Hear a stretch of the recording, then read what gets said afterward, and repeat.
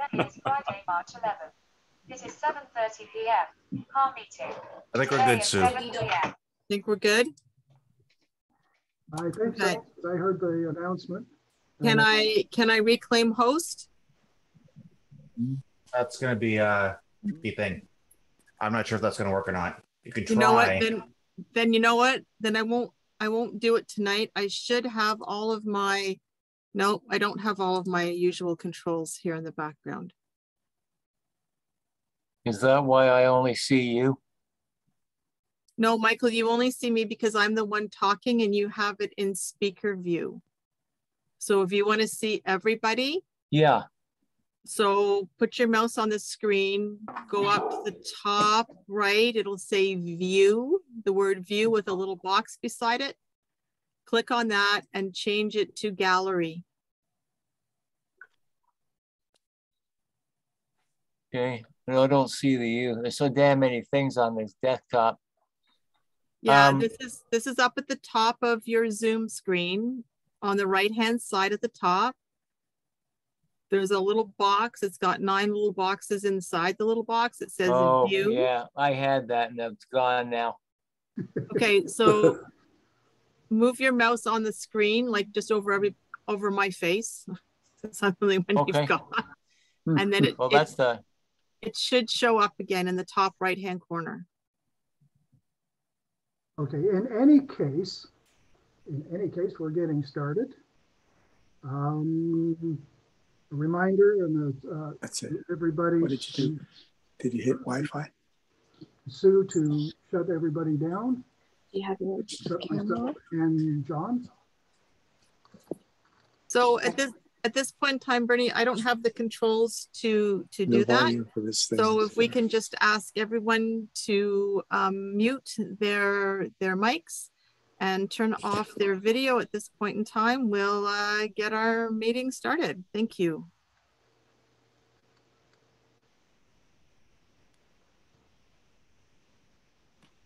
okay, so now I get to talk to myself again. Well, I get to talk to John. It's just John and I here now. That's great. Okay, welcome everybody to our March the 11th uh, members meeting of the Hamilton Amateur Astronomers. I don't know what it's doing where you are, but it's snowing here. And it's a good thing that we're inside and indoors and everybody's safe at home. I see, well, I did see faces a few minutes ago, but now I see names, some new names. Welcome. Uh, if you're a new member, welcome. You're going to really enjoy the club, I hope. But what you get out of it is up to you. We'll give you just about anything you want for uh, related to this hobby. Um, I imagine we have some guests. I see Brett Tatton here from uh, from the uh, Blue Water Group. And I imagine there's a couple others as well. You're welcome always. My name is Bernie Vaness. I'm the chairman of this organization. Uh, I have been since, well, this is my first year in my second go round. So I don't know if you want to count that as my fourth year or first, second time. Uh, it's a pleasure to operate in this environment. We have a lot of people that help us out, and you are one of them. And you know who I'm talking about. And if you don't know who I'm talking about, it's because you're not helping. Um, one of the one of the many things that this club has is the Astro 101 program, which we're running currently. I believe we're into our third week on it, or our third session. If you're not familiar with it and want to become familiar with it, we can give you the information to find out more. That'd be with John. I don't see John here. Uh, John Goverill is in charge of that operation. We also have a lending library for our members. Uh, it's a little difficult to operate when we're in COVID restrictions, but if there's a book that you absolutely wanted to get a hold of, we could probably figure out a way to get it to you. Um, what else do we have? We have uh, an education program that you just cannot be beat, I don't think. Uh, Joanne is uh, our education director. Um, Joanne, do you have anything to let us in on? I know I'm catching you off guard, but No, I, I sure do actually, but maybe we should wait till after the speaker because I want to talk about our exciting contest. Okay, we will do that. So you've been warned, people. I mean, you've been advised, people. Um, Let's see, what else? We have a lending program as well for new members, or all members actually, but predict, um, it's best for our new members, especially those that don't have equipment as yet. Uh, Don't go running out buying expensive stuff till you have a half an idea of what you really want. We have various types of telescopes, we have binoculars, we have different things that let you try stuff out before you go out and spend the money. And that's a good idea. Um, Again, we'll get the information out to you for uh, the contacts on that as well. What else have we got here in my list of little things to talk about? Um. Oh, yes, yes, we also have an awards program. Uh, How could I forget that? We have the, a couple of beginners programs. We also have uh, a Messier program. We will very soon have a lunar observing program. You're all invited to partake in those. Uh, Speaking of those awards and such, if, if you find another award program, whether it be in the Astronomical League in the States or the Royal Astronomical Society or the British Astronomical Association or Bob's Association of Astronomers, I don't know, I don't care.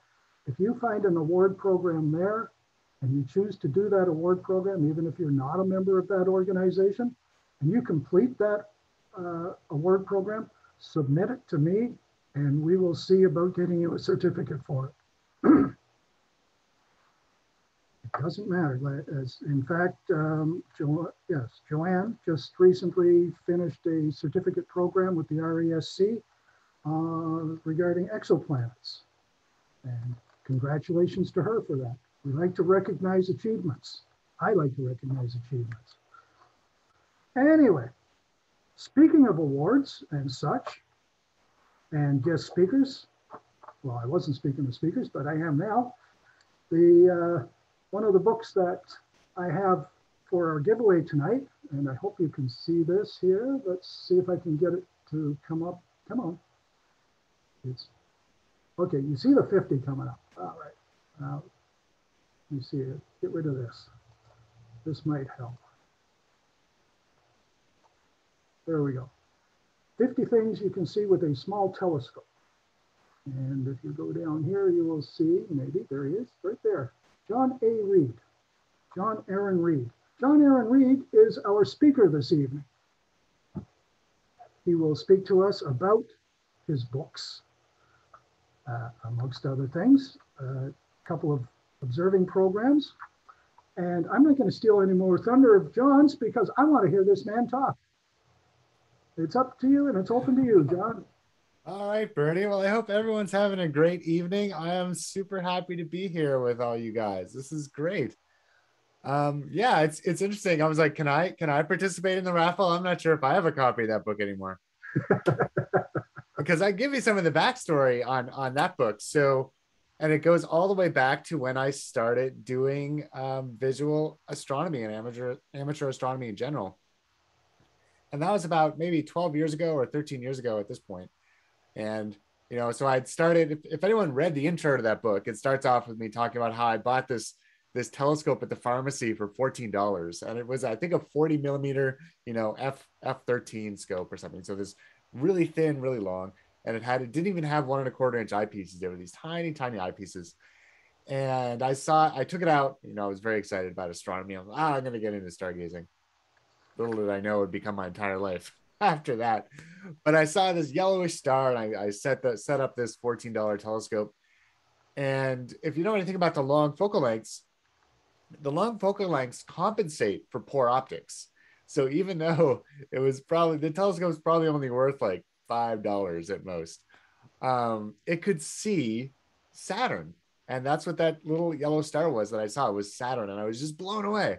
But I couldn't see anything else with the telescope. So then I had to go, and then I I, I bought a much bigger telescope at 60 millimeters, so about that big, you know, the same aperture as like this this little guy. uh, here. And, um, you know, so the rest is history. Then I started seeing the Messier objects, which we'll talk about tonight. And then I got what's called aperture fever. So aperture fever is what happens when you realize that the the wider um, your telescope is, the the larger the aperture, the more you can see. And so I immediately, well, asked my wife first, and Christmas was coming, and we got a 12 inch Dobsonian telescope. And after I had that, then I'm like, well, now I'm brave enough um, to join the local astronomy club. And we were living in San Francisco at the time. And so I joined the Mount Diablo Astronomical Society. And I was like, hi, I'm new to astronomy. I don't know very much, except that I have a 12 inch Dobsonian and I've seen most of the Messier objects. And they're like, what? That's fantastic. And then so they're like, why don't you join our outreach team? and that's great. And I didn't have kids at the time and I had lots of time on my hands. My day job, I was a, I was a, a corporate accountant. So I did finance and accounting for the Clorox company, which is based out of Oakland. Could see San Francisco, San Francisco Bay from my office, then Golden Gate Bridge. Um, but I had my eyes on the stars. So what's really interesting about California is, at least for where we lived, I lived on the other side of, of the Caldecott Tunnel. Uh, if you know anything about San Francisco, very cloudy in San Francisco. You go through the tunnel, there's like no clouds. And so I was doing up to four astronomy events per week with their outreach team. And we went probably a good year one year without getting clouded out, which now that I live in Canada is like it's pretty, pretty darn impressive because we get clouded out here more than not. And so so I started volunteering like crazy. I put the Dobsonian on the on the roof of my wife's car. Went to so many astronomy events. I killed the car because the wind, you know, on the California freeways on this giant Dobsonian that I'd strapped to the roof, basically just killed the radiator in the car. Anyway, that's another story. Um, but I realized something that going to all these schools with with the um, with with the outreach group there, which was organized by the NASA Night Sky Network, um, that a lot of these kids, and we were mostly working with high school students, a lot of them had telescopes. They'd gotten a telescope for Christmas or their birthday, and they couldn't see anything with it. They didn't have that basic set of knowledge to be able to go out and and see anything more than the moon if they even looked at the moon. And I realized that if I gave these kids what I call the wins, they needed a goal and then they needed to accomplish that goal uh, if, and if they got that win, then they'd be hooked. Then they'd be into the hobby. Then they'd go get the telescope out um, of the closet and start observing.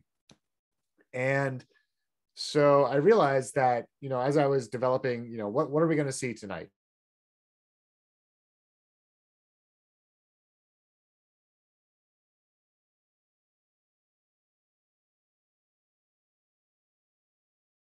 You know, and, and I make Okay, and every happened. and I come up with a list. And I realized there's really only about 10. You still hear me okay? Yep, yes, I hear you. So I realized there's there's only about 10 awesome targets per season that were good for these kids. And so I decided to put it into a book, and there was 50 things to see with a small telescope. And I had almost written it for me, just so that I'd have a reminder when the next year came. Okay, what were those 10 targets again? Um, and so I published this book, and I I threw it up on like Lulu or some like random self-publishing site. And then I Google and they're like, nah, you can, you can actually put it right on Amazon. And so I put it on Amazon and people started buying it. And I was very confused. I'm like, why would anyone want to buy my like black and white astronomy book? And so I went and I made it a little bit better. And I, you know, had it edited. Uh, Marni Berendsen, who actually developed the NASA Night Sky Network, she was, she became my editor and we made the book much better. And then uh, a lot more people started buying it. And I was like, holy cow.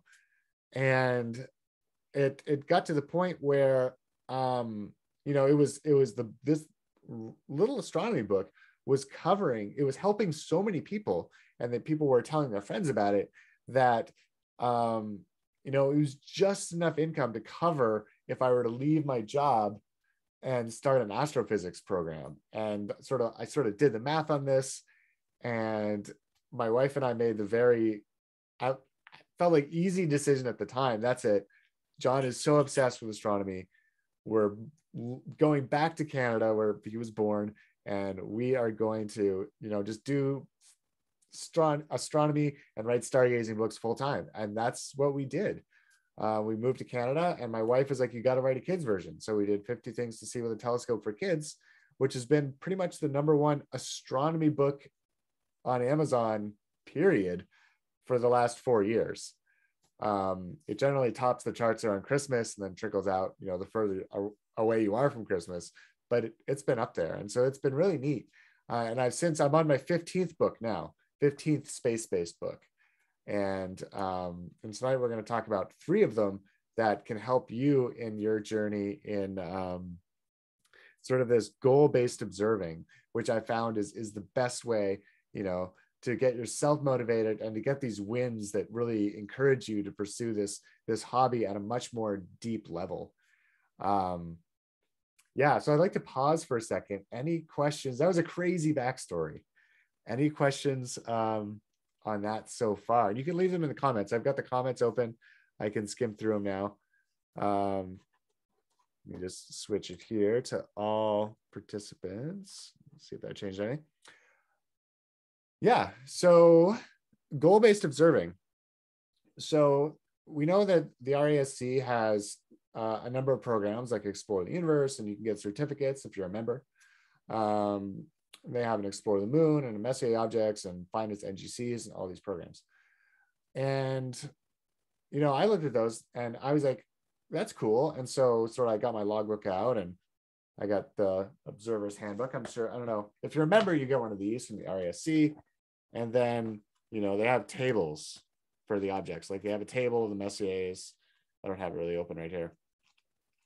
But what I found it really difficult, you know, using the observer's handbook was to really get organized. So like tying what was in this to what is observable in the sky right now to what I had written sporadically in my logbook or or I had for a while I had printed out the logbook that was on their website, but I had trouble like getting getting motivated to keep it organized so that I'd have a coherent submission for these programs.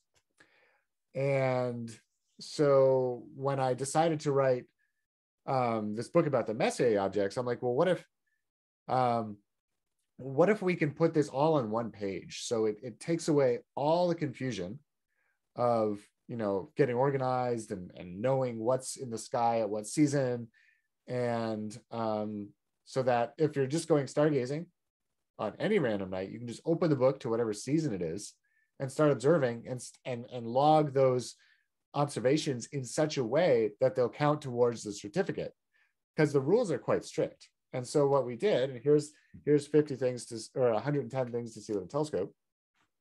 And i'll share my screen here in a second if i can. But what we did is on every page, um, we have an observing log, and this is done by by season or or by by month. So autumn, which would be September, October, November.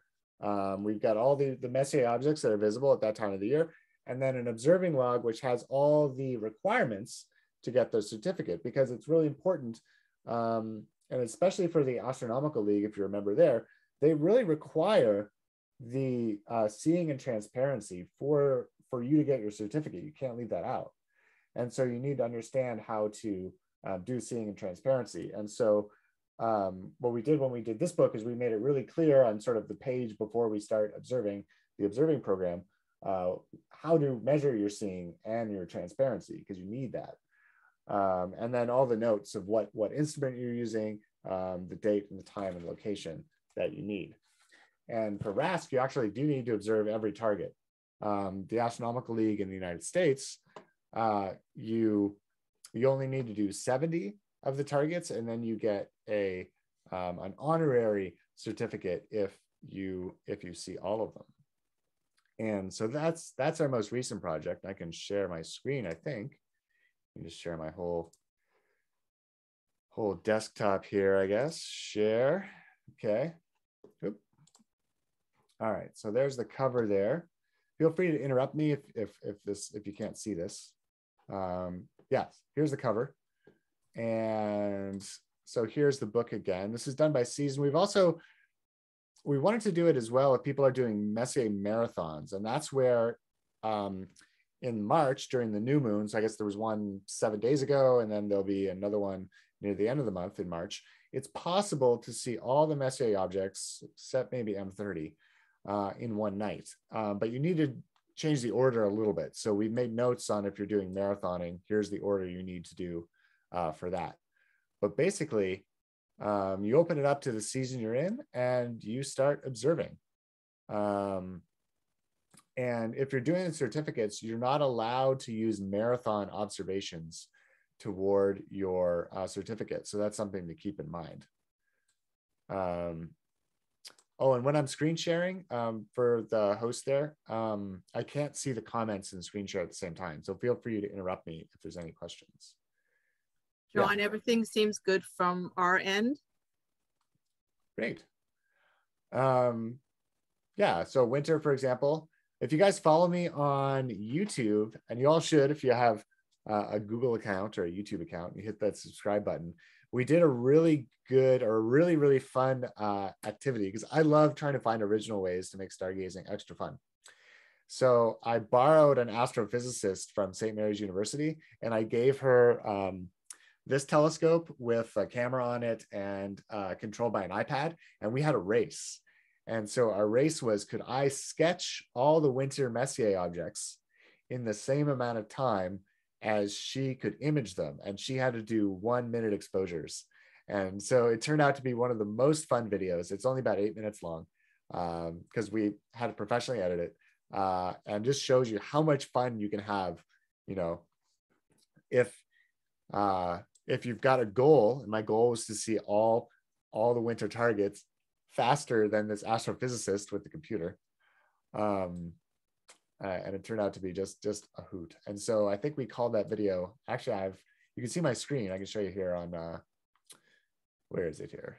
Yeah. So it's this can a celestron star sense be moved to another telescope? So within that video, I raced the astrophysicist um, because I put a star sense um, on my Dobsonian, which is something I pulled off a less expensive telescope. Anyway, yeah, so that's that's my YouTube channel. But back to the book.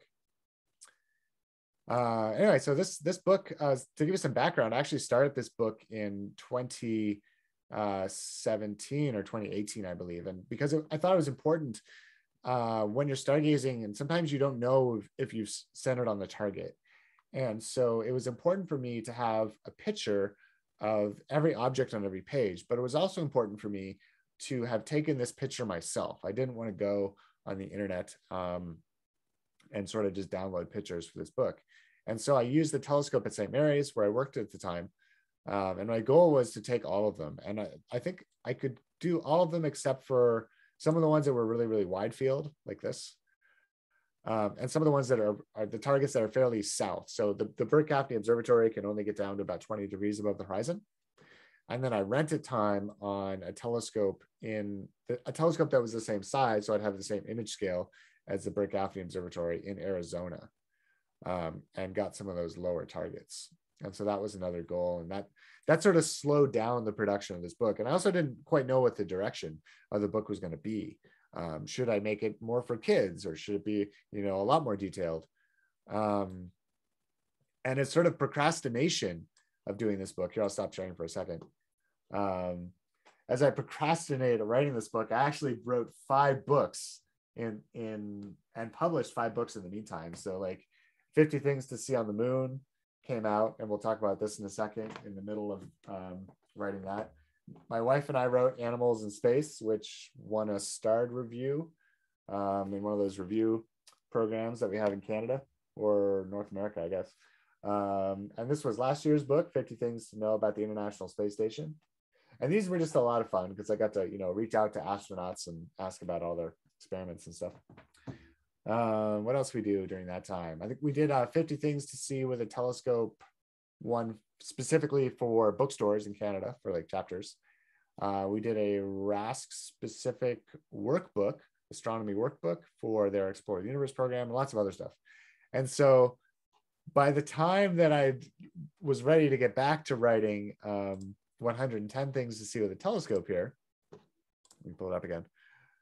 You know, I felt, and I and I'd been I've been doing astronomy outreach at St. Mary's, uh, or more working at the observatory and teaching the students as part of their Astronomy 1000 course. Um, that I hadn't actually gone out and observed these things in years. And so for that reason, I reached out to uh, Chris Vaughan, who is a sort of a space journalist. He does a lot for space.com and stuff. And so we teamed up on on the book and because he had recently um, gone through all the Messier objects and documented his progress and stuff. And so we basically put our minds together and wrote all these descriptions of the Messier objects and how we, you know, rated how difficult they were to see and made some comments on, you know, in the observing tip section. Well, what, what, you know, how far away from town do you need to get so that you can see it? Uh, what magnification would be ideal? Um, and and it was really a, a neat partnership to really, you know, um, to really get to get the points down to make it for the reader so that they can have the highest chance of success in in seeing these objects. Uh, and then at the, if we go to the beginning of the book, we made sure that there was a history of the Messier list, um, you know, a really quick background in, in basically the astronomy of it all. What are these objects that you're looking at? Um, and then how to plan your observations and how to how to do basically how to do stargazing in general. You know, if you're going to be looking at uh, galaxies and stuff, making sure you're away from, you know, how to find dark skies, knowing how to find dark skies is a skill all of its own. Knowing, becoming moon aware, knowing that those new moon nights are, or going on a night when you know the moon is going to set soon, like in the crescent phases, um, you know, that's important. Using the dark sky maps to sort of find, find out where, where you should be observing from to see the targets. And then just some tricks about using a telescope, using averted vision to uh, you know, bring out the details in the galaxy, for example. Um, uh, learning about you know what what targets are up at what time of the year and all that stuff. So if you don't have a deep background in astronomy, this and you got this book for Christmas, let's say, it's all here. Like you don't need to go outside this book to go get additional knowledge so that you can then, you know, go observing. And of course, we we deep dive into the telescopes that we recommend um, you use to do the observing, sort of the minimum telescopes and then just a brief summary on how to okay here's the telescope that's in your that's in your closet. Let's show you how to use it. And so that's included in the book as well. All right. So let's pause here for a second. Maybe i'll, I'll stop sharing here again. Just see if uh, uh, anyone has any questions? Someone's commenting my star sense didn't spend much time on the original telescope. Yeah i mean mine neither. So i just basically left it on there to do a youtube review of what star sense was. If anyone doesn't know what star sense is it's pretty cool. Um, it's a basically a mirror that clips onto your telescope and your iphone clips into it. And your iphone constantly takes pictures of the sky and tells basically tells the iphone and the, which is locked onto the telescope where the telescope is uh, or where it's pointed. And so it allows you to really quickly go between targets just by pushing your telescope. And so I immediately um, took it off this telescope that I bought used for $100 and I put it on my 12 inch Dobsonian. And it really just worked flawlessly. I was able to just fly through targets um, once I got to a dark sky. Um, I mean, if you were doing a Messier marathon and used StarSense, um, you could go through it pretty quickly. Now, you that said, if you're using StarSense, you have to and, and you're trying to get your certificate, you have to uh, if it's RASC, you have to check that um, it's computer assistant. So there's a separate uh, certificate if you're using electronic assistance. Let me get some water here. Um, yeah, so if you're if you want the object to count for your Messier, Messier certificate, you would have to turn StarSense off and find it with ideally a Telrad. Um, I find finder scopes really challenging for deep sky objects. That's just me. Um, but yeah, so uh, and that's another thing about the book. The book is designed for use with a Telrad. So if we go back and share my screen, share. Um, every object has a Telrad uh, bullseye that is sized um, correctly to the star map. So you basically line up the Telrad. If anyone doesn't know what a Telrad is, um, or a Rigel Quick Finder, or a Star Pointer Pro, they're basically these uh, pointing devices that sit on your telescope. You align them so that the bullseye and your telescope are pointed at exactly the same spot.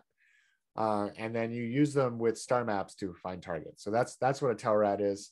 Um, they're also called bullseye finders this is a Rigel Quick Finder. and Celestron makes a really nice one now too. Uh, anyway, yeah. So every page here has Telrad Telrad rings, and then if we, you know, have we're doing the Virgo cluster, for example. This was a really Chris Vaughan and I worked on this for weeks. Let me go find it here.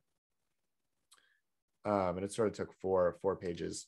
So within the single field of view, at least Telrad field of view, your binoc- your telescope is probably a lot closer. Like maybe you're using 25 magnification, which would be this ring.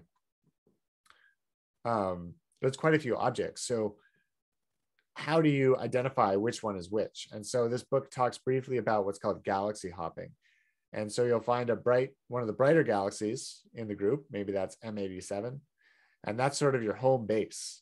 And then after you found M87, you might bump, you know, bump telescope up here, up north to Markarian's chain, or maybe we'll go over here and knock out these galaxies, and then always coming back to M87, sort of the brightest one in the bunch, just so that you're oriented. And the other thing we did in this book to try and make it easy, um, let's say I was using a refractor, I might want to actually go in here with a pencil and make a big X on this map so I know not to use it. Because you want to be using that um, mirror reversed view. Um, for anyone that doesn't know, tell us tell the type of telescope you're using determines what the view is. And it usually doesn't matter if you're just casually observing because there's no up, down, left, and right in space, really. Um, but you want to know it if you're doing an observation, an observing program, what version your telescope is. So refractors with the 90 degree diagonals, like um, like this guy, uh, show typically show a near reversed view, um, except these ones. This is called these little ball um, diagonals here. They actually use a prism instead of a mirror, and they give you a standard view. So that corrects the um, having that that mirror image, and it actually gives you uh, you know, it's as if you're just zooming in with your eyes. So there's no alteration in the image. And so in that case, if you're using this telescope in this setup here, for example, you would use the standard view. And we didn't rotate it 180 degrees for the Newtonian, just for, I guess, two reasons. One, you can just flip the map around, and then we didn't need to include an extra map, so just hold it at a different angle. But also, I find a lot of time when I'm using a Newtonian, or especially a smaller one, um, I'm leaning over it at weird angles. And so it's not really a 180 degree rotation anyway, because you have to subtract or add the angle that I'm looking in the eyepiece with as is. So yeah. So if you're using a Newtonian uh, style telescope, it's the one with mirrors, the ones that can't see vampires coming. It's a joke that's been going around, going around the internet. Anyway, um, you would use these standard, these standard view um, ones for doing the Virgo cluster, for example. Um, yeah and then all of all of the little images that we have are just standard view yeah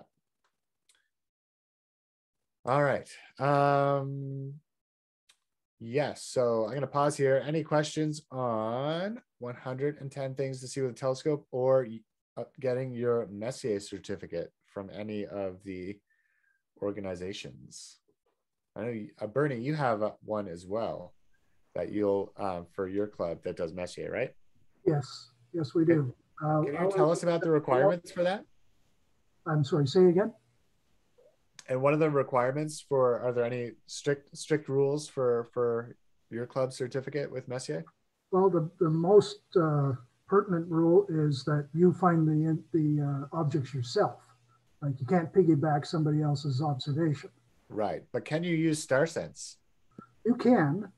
Uh, we, we suggest you don't we prefer you learn the sky uh, manually. But uh, if you choose to use StarSense or any computer aided uh, computer aided process, then it will be noted on the certificate.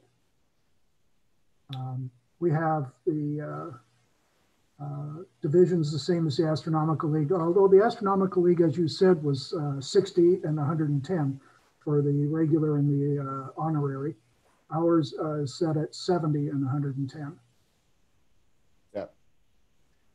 Cool. The reason, the reason we cut it off at the 70 is because if you decide you want to do this and you don't have a telescope, but you do have binoculars, a decent pair of binoculars, you'll get those first 70.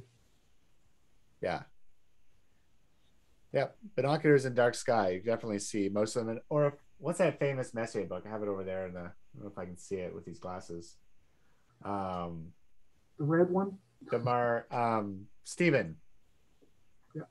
Anyway, O'Meara. Yeah, Stephen Steve O'Meara. He he claims to be able to see pretty much all of them with binoculars, but he's I think he has a house on a cliff in Hawaii or something. Well, uh, quite a few years ago, uh, we did a uh, SEA marathon, and uh, I did it with uh, with a fellow, and I did mine using 15 by 70 binoculars, and I counted 101. That's pretty good. Yeah.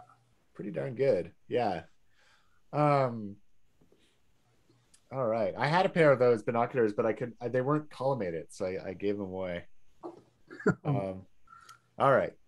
So let's There, there is a question. There is a question that you missed earlier. Uh, was somebody asking where they can acquire your books? Yeah. So most of the books are you could just if you wanted to, you go to chapters. For me as an author, um, as much as some people don't like Amazon, Amazon does provide the highest royalties. Um, and it's also it is also where most people get their books. And the best thing you can do for an author is if you do get the book on Amazon, is write is write a five star review. Um, four star reviews are actually not good reviews on Amazon. Uh, not for authors anyway, just how the algorithm works. Um, yeah so definitely amazon amazon is the best for me um just how it is but if you have a bookstore they can either order it or a lot of the bookstores carry my books in stock um because they, they order them on on their ingram internal database and and get them from there or right because most of my books are with Formac publishing. Um basically all the books except for uh all the newer books except for 110 things to see what the telescope is with them. So they're all On they're all the- you know. Sorry, the link to the Amazon site to buy your book is in the chat. yeah it's although that's the small telescope book that um that was my that was just my very first book. I definitely recommend if someone can drop a link in for 110 things to see with a telescope.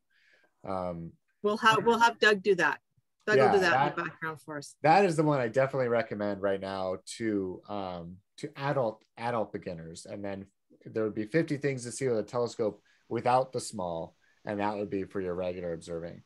Although people people do love they love the, the small telescope book because it sort of fits fits in your pocket big pocket um yeah. So let's talk for a second about observing the moon. Maybe i'll share my screen again. Uh desktop one share here. Let's flip over to yeah so um i don't know if you're familiar with dave chapman. He's on the RASC observing committee but he had this idea. Well why don't you did 50 things to see with a telescope? He is obsessed with the moon. He calls himself a lunatic um in a good way uh and so we got together or, or i'm like yes this is this is a great idea. And i pitched it to the publisher and the publisher is like this has never been done before. Amazing. And so i went like crazy. I wrote as much as i could. I did a whole bunch of research and i scheduled a meeting for with dave like three weeks out at a pub. And um i had done so much research in that three weeks that dave was like what do you need me for? But then we worked we worked together and we basically put this book together with with our fa- our 50 favorite lunar targets and here they all are. Um, but again in terms of goal-based observing we structured it day by day. So hypothetically whatever day that you go observing the moon and you see the moon you just match it to the current day in the book. Um, you know I, I think of the, the moon as having a 14 day cycle. I, I tend not to like to stargaze in the morning. So 14 evening days that you can you can see the moon. Um and you know we so we basically have uh you know about three pages uh per per day. And that that's three pages that are where the targets are within a few degrees of the terminator. So the terminator is the line between night and day on the moon. And i know this is 50 things to see on the moon but it's more like 50 pages of awesome stuff to see on the moon. Because if we look at uh, target number three, for example, is the Gang of Four, um, which are four rather large craters that are some of the first pronounced craters to appear as, as the lunar cycle begins, right after the new moon. Um, and the other thing we did with this book is for every page, because it's important to get your orientation right when you're observing the moon, uh, we, you know, have an uh, a chart for binoculars or for the standard view, like if you're using this telescope with the erecting eyepiece, uh, and then a view as if you're looking at, at the moon with a Newtonian telescope, and then a refractor telescope with a diagonal that is giving you that mirror reversed image. Um, and the idea here is that after you've seen it, you put a check mark, and that way you can track your progress. And you know, you get to the book and you can tell if you've seen them all. And for the RASC Explore the Moon program, there's no requirement to sketch the target. And so, as long as you've recorded the date of your observation and the fact that you saw it and what telescope you were using, um, that qualifies. So, if you wanted to use this book to knock off most of the targets for RASC's Explore the Moon pr- program, and it has about 70% of the targets are here, you basically could just put a check mark here and at the end of the book, just in the in the blank white pages, write the, the date and what telescope you're using. Um, and I think I completed Explore the Moon after nine sessions, is what it took me to get all the, the certificates. Um, and again, I like I like to try and make um, make my lunar observing or observing in general as fun as possible. So we came up with all these cool nicknames uh, for the craters, and it's funny. So on my YouTube channel, I frequently do these um, live streams where I just go and I point the telescope at the moon, and then I just people join in and I answer questions. And sometimes I'll just stay on there for like an hour or two hours, and just the questions just don't stop. But I don't have the names of the craters memorized, but I do have all my nicknames memorized for the craters. So a couple days ago on Tuesday night, for example, we looked at the the clock hands. And I was using a 12 inch Dobsonian, so we could really get in there close. And you could watch the the Tuesday night one if you just go to my YouTube channel. Uh, it's it's up there. Um, Pearson Picard, I remember uh, the Picard crater is you know French astronomer who is Captain Picard from Star Trek. Star Trek is named after. And uh, and yeah, so definitely a really really goal oriented way to you know learn your way around the moon. Just basically, if I were to do this again, and I actually do this frequently, is just get excited when the new moon comes up, and then you know just go through all the targets. Uh, you know they become almost old friends uh, as as you get to know them. And it's fun pointing out the uh, you know the Taurus Mountains and and uh, all the lunar lander sites. Of course, you can't see the lunar lander. Um, you're not going to see anything smaller than about a mile in diameter. Uh, so that's Explore the Moon, and definitely a fun project. This this book um, is is one of the reasons that that uh, that RASC gave me the Simon Newcomb Award in 2020. Um, it was just really well received, and Celestron picked it up. And for the the 50th anniversary of Apollo, uh, Apollo 11, they they packaged it with all their beginner telescopes. So a lot of people got uh, this book that way. Um, so it's definitely been well received and is a well loved book. We've got schedules for the eclipses and, and everything in here as well. So that is 50 things to see on the moon. Um, I would actually love to do a version of this that actually has the extra 30 targets just labeled, and that way you could use this entirely to get those certificates. Um, uh, some of the challenges are some, some of the more obscure craters are actually quite small. Um, they wanted to include some of the craters named after Canadians, like Newcomb, uh, which is over here. Um, yeah, so quite a small crater, a little bit of a challenge. So maybe I'll I'll close my share here so I can see if there's any any questions here. Any questions on lunar observing?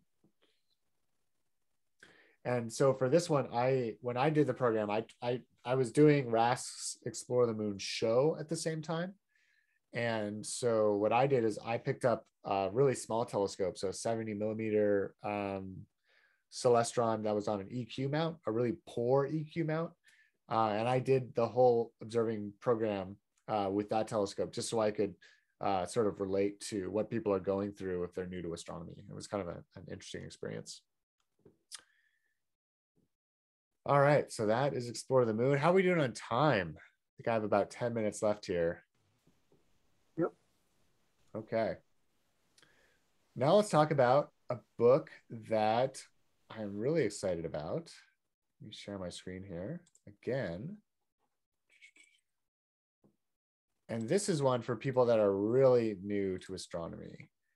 And I know I'm calling it learn. Yeah, so this is Learn to Stargaze. And I added kids just because a lot of people a lot of adults buy kids books for themselves in regards to astronomy because I feel like the books, a lot of the books targeted at adults for beginners are there's a lot, there's way too much going on in them. And so I want to let people know that yeah, this is accessible, an accessible amount of information uh, for anyone. And um, it's not surprising to me that the kids book 50 things to see with a telescope kids that we did shortly after I left my job at Clorox is still my most successful book. Just because it's these books targeted at kids but have all the information that adults need tend to be, you know, they tend to be really popular. Uh, and what was neat about this is I hired this, I found this artist on YouTube who was drawing constellations and he was doing them in black and white. And almost all the constellations you find images are in black and white. And I said, well, wouldn't it be awesome if we could do a kids book and have them in color? Um, I'll get this. And so we hired this artist to do Okay, all the constellations in color. Oh, did someone have a question? No, John, I just Oh. had to muted someone who just came in. It's okay. Oh, no worries. But there is a question in in the chat. Do you want me to read it now while I'm here anyway? Yeah, absolutely. All right, give me one second here. I'll get some So here. this is from Doug Curry. I have 14 millimeter for eyes and 50 millimeter main aperture, nine to zoom 27 times magnification binoculars. How small a feature could I see with them on the moon? Here, let me. 14 millimeter. Is he talking about 14 millimeter? Is that does it mean inches? Like a 14 inch telescope? No, it's it's binoculars. What was, what were the specs on the binocular again? 14 at the eye end and 50 at the other end with Okay. I mean, 14 by 50s? Yeah, Yeah. so res- resolution on the moon, or resolution with a telescope in general, is only dependent on the aperture. So nothing else, in terms of resol- resolution, nothing else matters. Um, and so there's a bit of math you can do. And if you look, I did a video where I reviewed a 70 millimeter telescope on my uh, my YouTube channel. I think it's if we go down here to my oh, I'm not sure. Oh, I am sharing. Okay. Uh, if you guys open, let me see it. I think, it, yeah, Astromaster 70. In this video, I do the math on that. And because it's quite, it's quite a big calculation. It takes about 10 minutes. Um, but I determined, and I think I'm doing this from memory, that with the 70 millimeter telescope, 2.7 kilometers was the smallest detail you could see on the moon. And then I think my larger telescope was 1.9 kilometers. So if your binoculars are 50 millimeters, so just 2.7, add 30, 40% to that. Um, so your, your smallest object that is possible to resolve would be about five kilometers. Um, you know, given the laws of physics, that's the smallest. Even if you put a fancy camera on your binoculars, that would be your limit would be something five kilometers in size.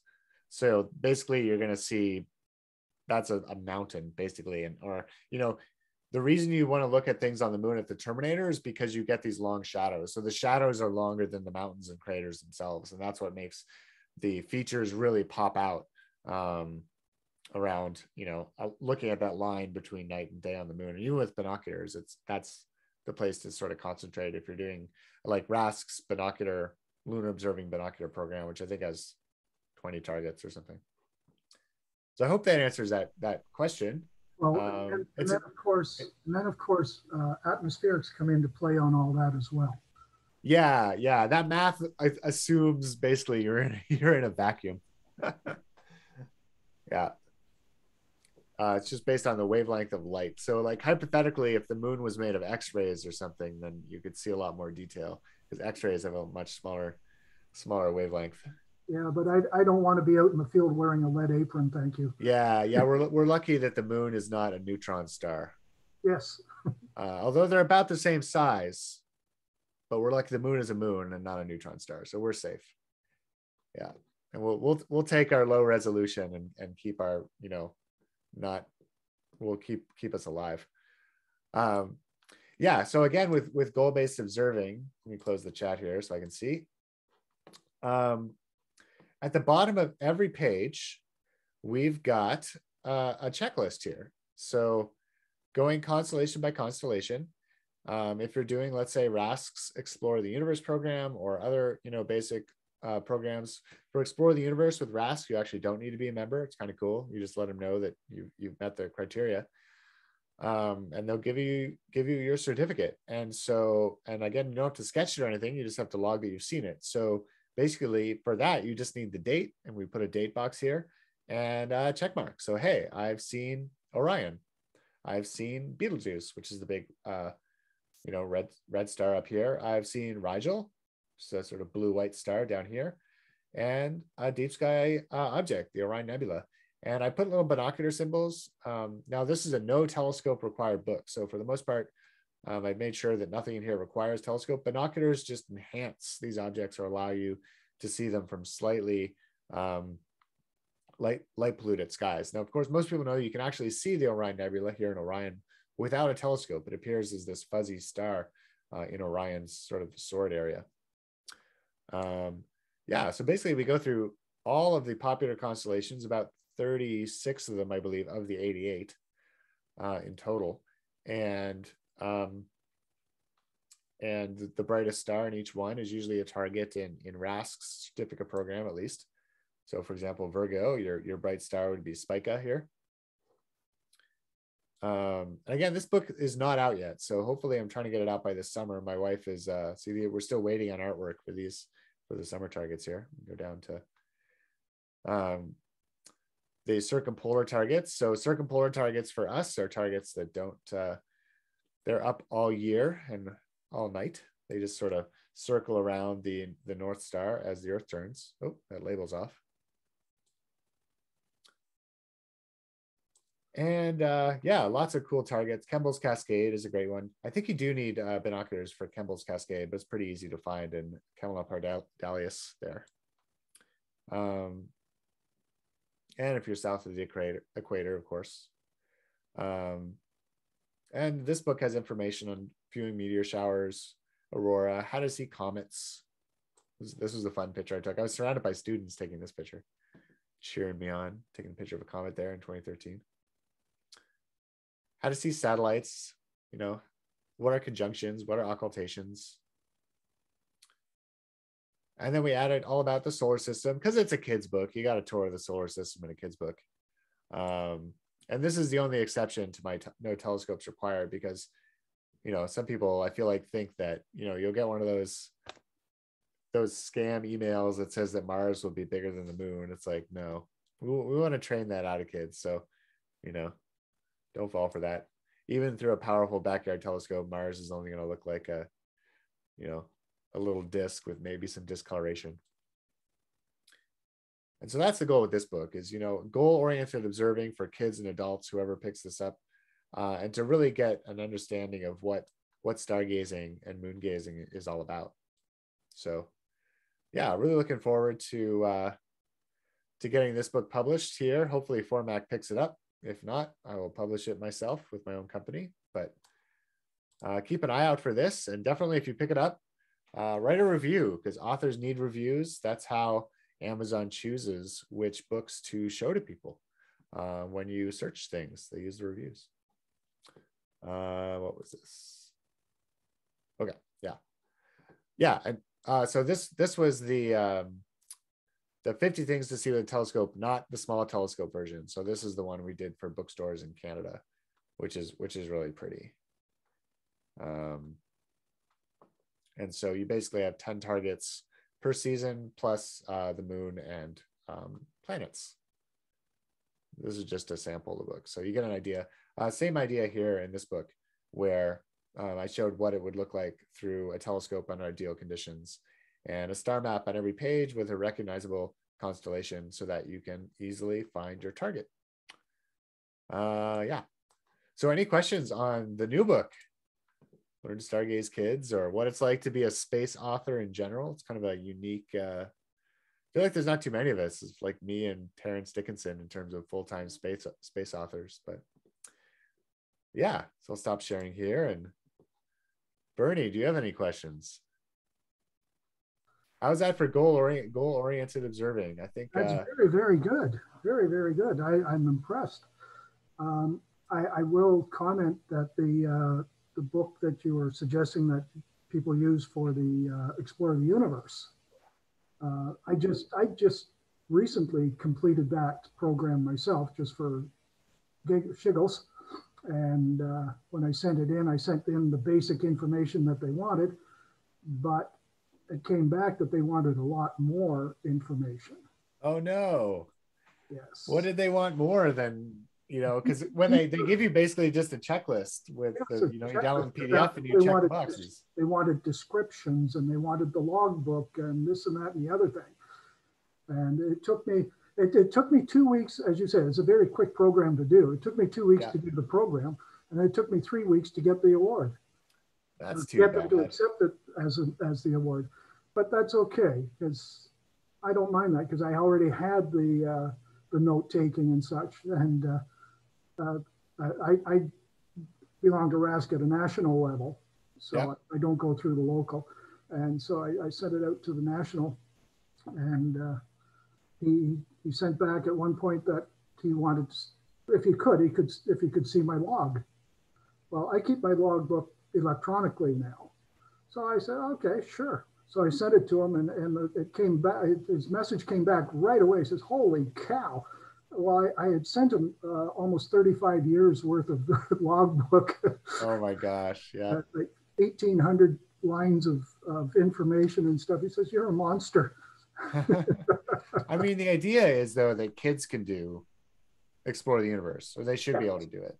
I think the challenge with explore the universe is the the double stars, because I find there's a big disconnect. The explore the universe starts off with I find the constellations and find the brightest star in the constellation, and then you know in the moon it's there's like seven see seven objects on the moon or whatever, uh, five lunar seas, five craters. But then it's like, well, now you need to do 10 of 20 double stars. And that I think is a sticking point for a lot of people. Uh, double stars are one of my favorite uh, targets. So I, I've done. I have like five different awards for double stars. Oh, wow. Impressive. But Yeah. yes, uh, any of these books, uh, I will I will mention to the group here. If anybody purchases one of these books and uses it as their guide, or uses it and completes their observing program in that, I will accept those as having been completed. So uh, now the thing, of course, is don't send me your book because you're going to want to keep your book. Be prepared to photocopy it or just write out the information. But that's for another time. Um, let's see. I don't see. Uh, okay, there's a question for you from Matthew. Are you considering a book of objects beyond Messier, e.g., the bright NGCs? yeah. So the next book that I plan to do, um, at least, because again, th- this book was a five year process for me. Um, it's it started with photographing them because I I had with a bunch of logbooks that I had, you know, that were scattered all over my house. I had probably observed most of the Messiers before, and so it was a matter of getting sort of my Messier life together. Try to make a pun there. Anyway, um, yeah. So the next one for me is is Caldwell, um, the Caldwell catalog, which is sort of like the next best 110 things, and um, and but I just I just need to go and and see them all for one is my next step and then uh, just have detailed notes about it so that I can actually go and then turn that into a book. And so, however many years that takes me is however many years it will be to get to that book. Um, so, my big project right now is again just getting this uh, Learn to Stargaze Kids out, and um, and so we'll that that's taking up most of my time right now, and then focusing on the YouTube channel, which is all about.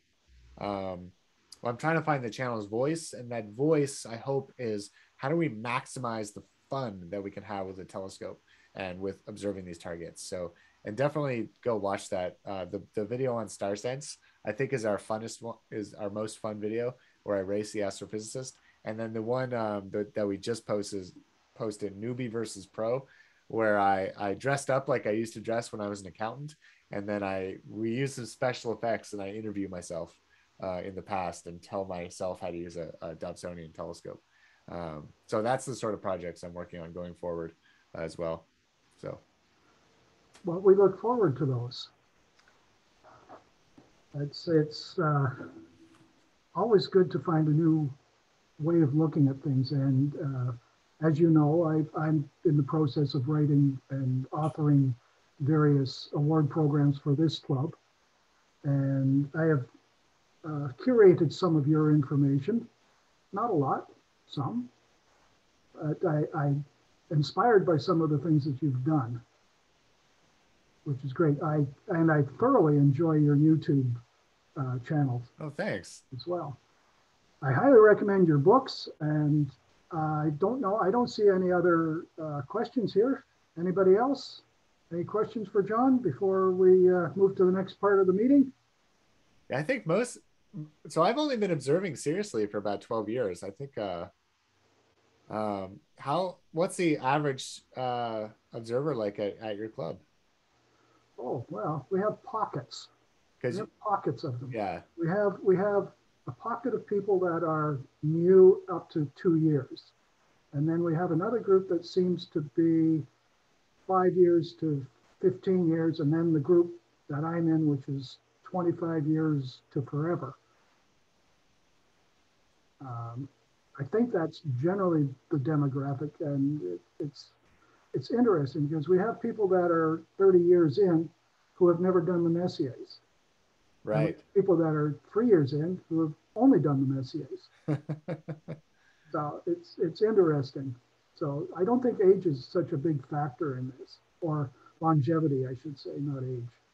Yeah, and and people get caught up in different things. Like I haven't been able to do any deep sky because I've been working at the observatory, which is downtown.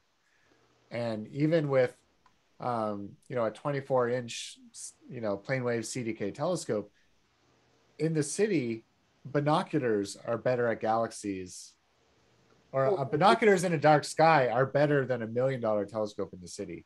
Like light pollution is your biggest factor in terms of limiting what you can see for extended objects. Absolutely, Um, no, no argument at all.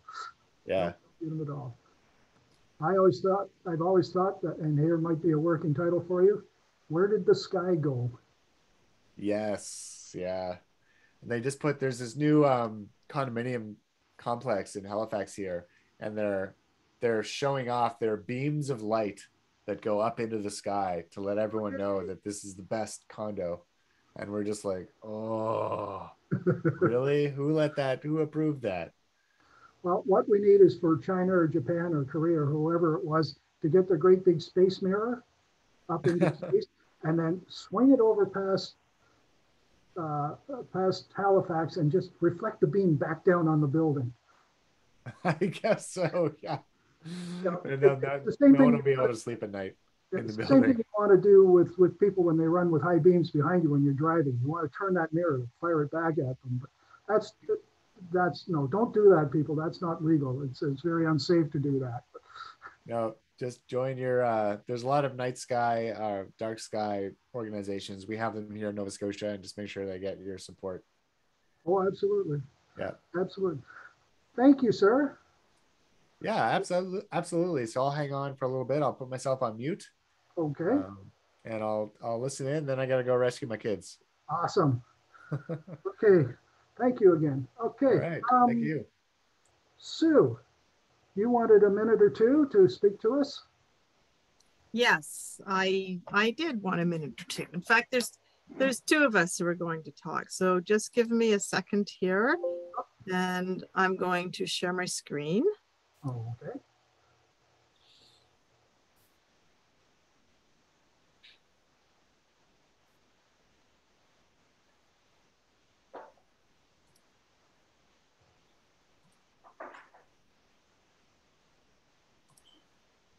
Okay, give me one second. Andromeda Meadow, yes. There we go. Okay. So um, tonight uh, we have uh, a stargazing opportunity to present to you that um, is in the works. And um, if you noticed in the last EH, there was a little save the dates um, in September, and that's relating to um, our HAA first ever Dark Sky Dark Sky Star Party from September 23rd to Sunday to September 25th at Andromeda Meadow, which is outside of Wiarton. This property belongs to Dave Skelton, and he wants to talk about his property and the event for a minute, and then I will give you um, the pertinent details that you need to know. So, Dave, Hi your there. turn. Yeah. Okay. Sue and my wife Joan met several years ago when they presented a summer camp at this uh, Fox Observatory, and that's how the the connection was made. Um, the opportunity to have the Hamilton group up at M31 came before Joan passed away last year. So this was her idea, and um, Bruce, my eldest son, with Sue, are pleased to invite your group to a dark sky weekend, which was mentioned. So if I'm not going to go into the details because Sue has all that. So if there are any questions uh, along the, the path here, just contact Sue. Or uh, apparently Matthew and Bernie are in on it too. She will. Uh, Sue will have all the details. Anything that we know, she'll know. Uh, and Oh. keep, keep you up to date. Um, if there's anything she doesn't know, she'll contact Bruce or myself, and we'll find you the answer. So with that, I don't want to do too much more because it's your uh, your floor now, Sue. Okay, thanks, Dave.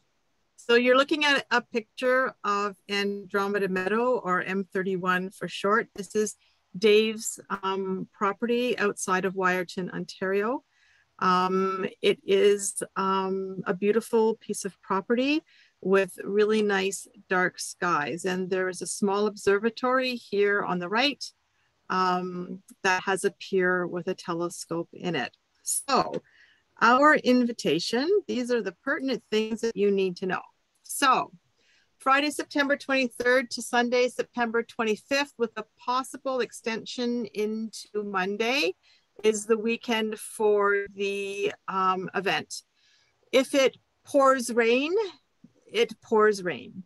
If it has, if we have other COVID restrictions, then obviously we would have to cancel the event. But right now, we're hoping for a beautiful, sunny um, fall weekend and um, where we can do this. The property has a Bortle scale of approximately three. And so those are very dark skies. For those of you not sure about the Bortle scale, they are beautiful dark skies with lots and lots of background stars available. There is limited trailer and ground camping sites available on site. Um, at this point in time, we're in the beginning stages of figuring out just how many we can accommodate on site, and that information will be forthcoming. For those of you who may not want to ground camp or don't have a trailer, um, the Wiarton area has many motels, B&Bs, cottages, Airbnbs, trailer accommodations in the area. So there's lots of alternate accommodations available not too far from the site. There will be a small cost associated with this, mainly to cover the cost of porta potties for the site. I have arranged with the help from um, Dave two observatory tours for the Saturday um, that are close by to their um, to his property. Saturday, we're planning a potluck supper.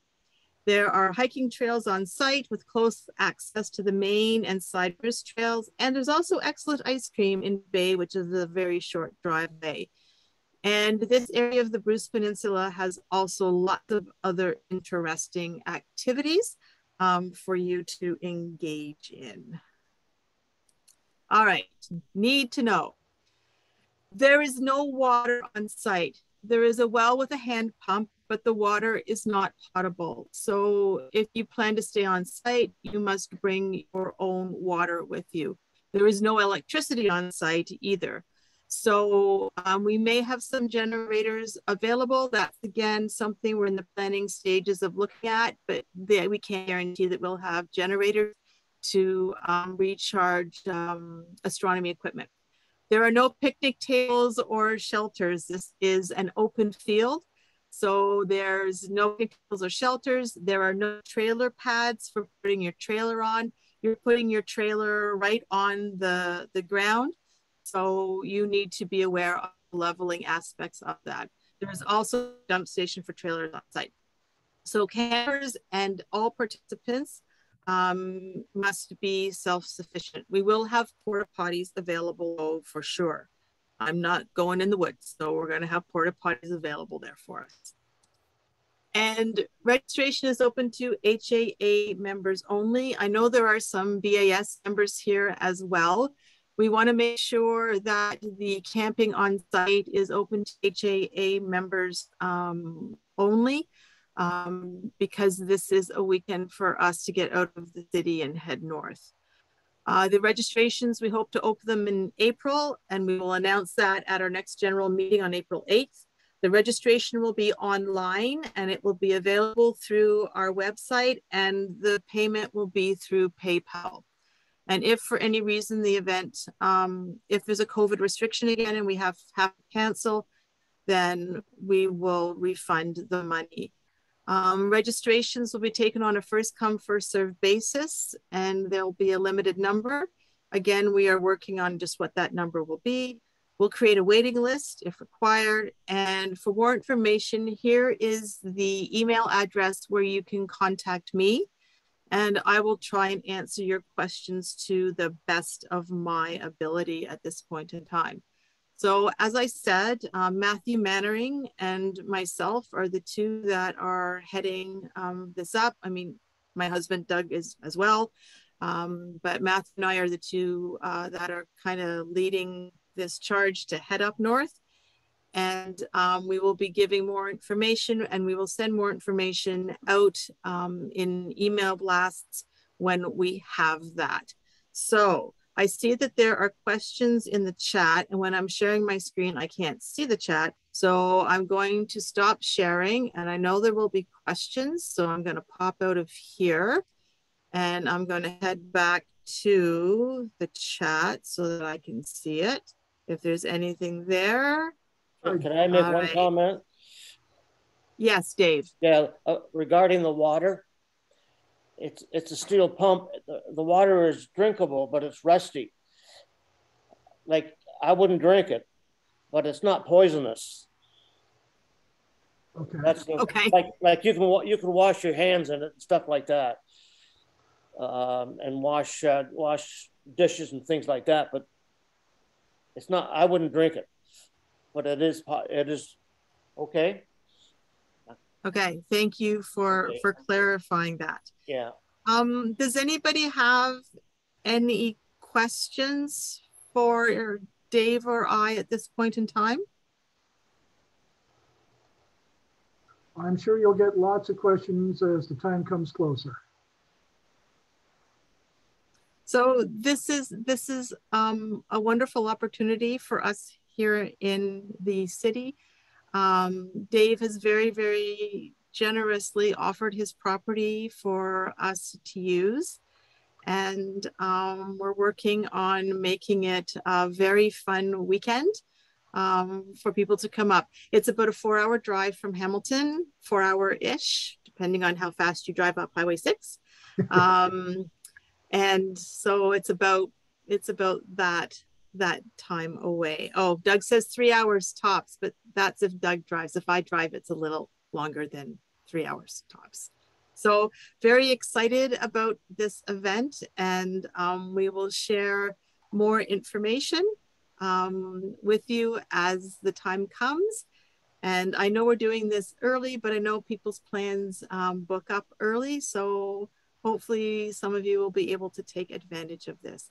And I'm just going to share my screen one more time so that you can see the um, address.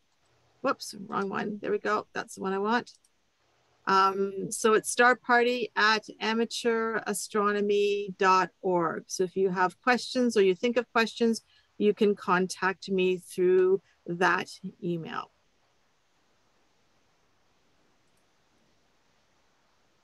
Okay.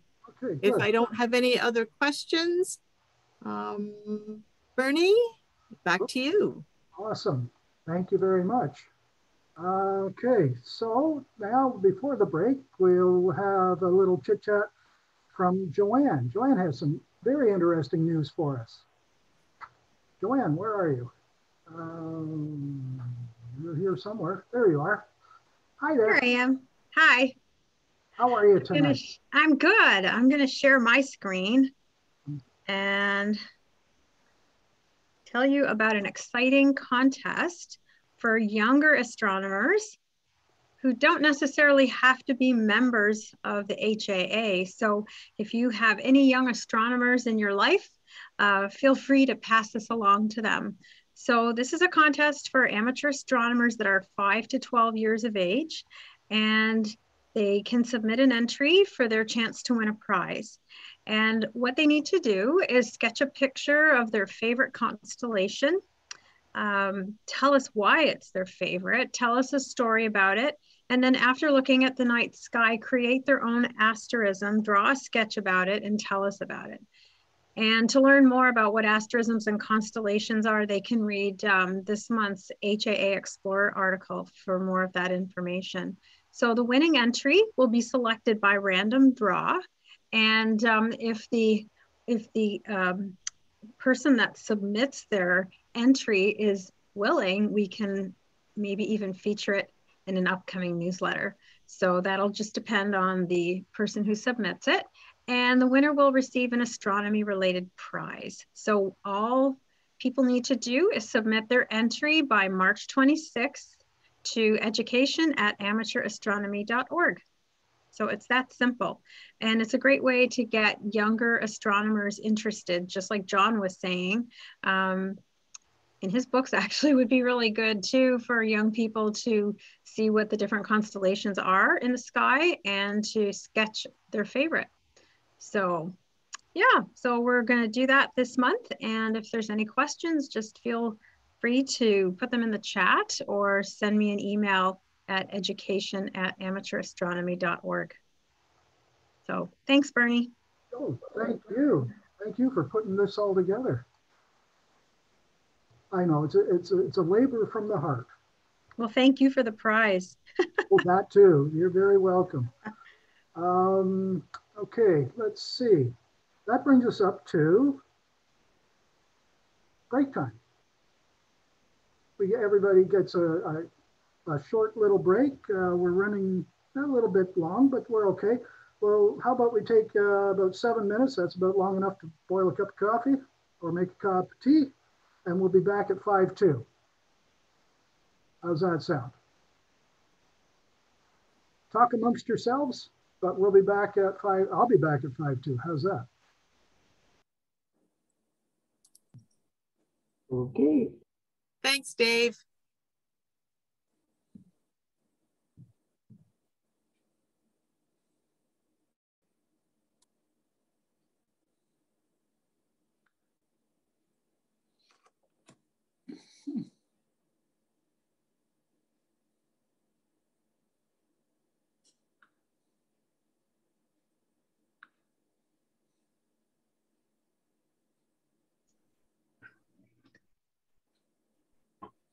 So Chris, you've been doing anything with that adapter I made up?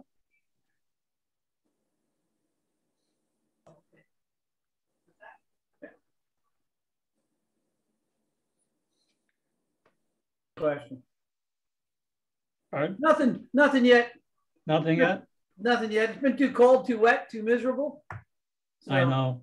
I used it in the house and it kind of went to where I think it should go. And it, it I mean, uh, electronically, it seems to work fine. Okay. So it'll just be a matter of, uh, you know, seeing how it works. But I think it's definitely, for those of you who don't know what we're talking about, Dan has made a module that will basically replace the hand controller on my, my Celestron scope, where I now hook it to my tablet and use um, Celestron Sky Safari. So it's a lot easier than if you don't know the name of a star, you can just kind of look and touch it on your on your tablet, and it will help you polar align and then help you use the a little bit better, easier go-to than trying to scroll through all the buttons and things on your little hand controller. This now, if anybody's familiar with Sky Safari out there, it's tap on your screen and away you go. Life has been, it hmm. does seem to want to make life a lot easier. And as my scope, my Ann will know the mount, it's a great mount. It's a little older, so it's not Wi-Fi. So Dan was able to invent something to plug into where your hand controller would go, and then it just connects to your to a tablet. And then you download Sky Safari Celestron's um, program to your tablet. I didn't invent it. I've been on uh, uh, Starry Nights with some people. A guy from Ottawa actually is the one who's putting it all together. But he's put it there so you can log in and you can put it together yourself. There's that one, and there's the other one for CPIW or WI, and it will turn your Celestron scope into a, a USB port scope. So you can direct wire from your laptop directly into your scope without using your hand controller. And you can still use your hand controller if you want to uh, fine tune it here and there. Oh, that's interesting. And I like the tablets. Like you saw in the little picture, I picked up a, um, for those again, I picked up a holder that will hold the tablet and mount on a camera tripod.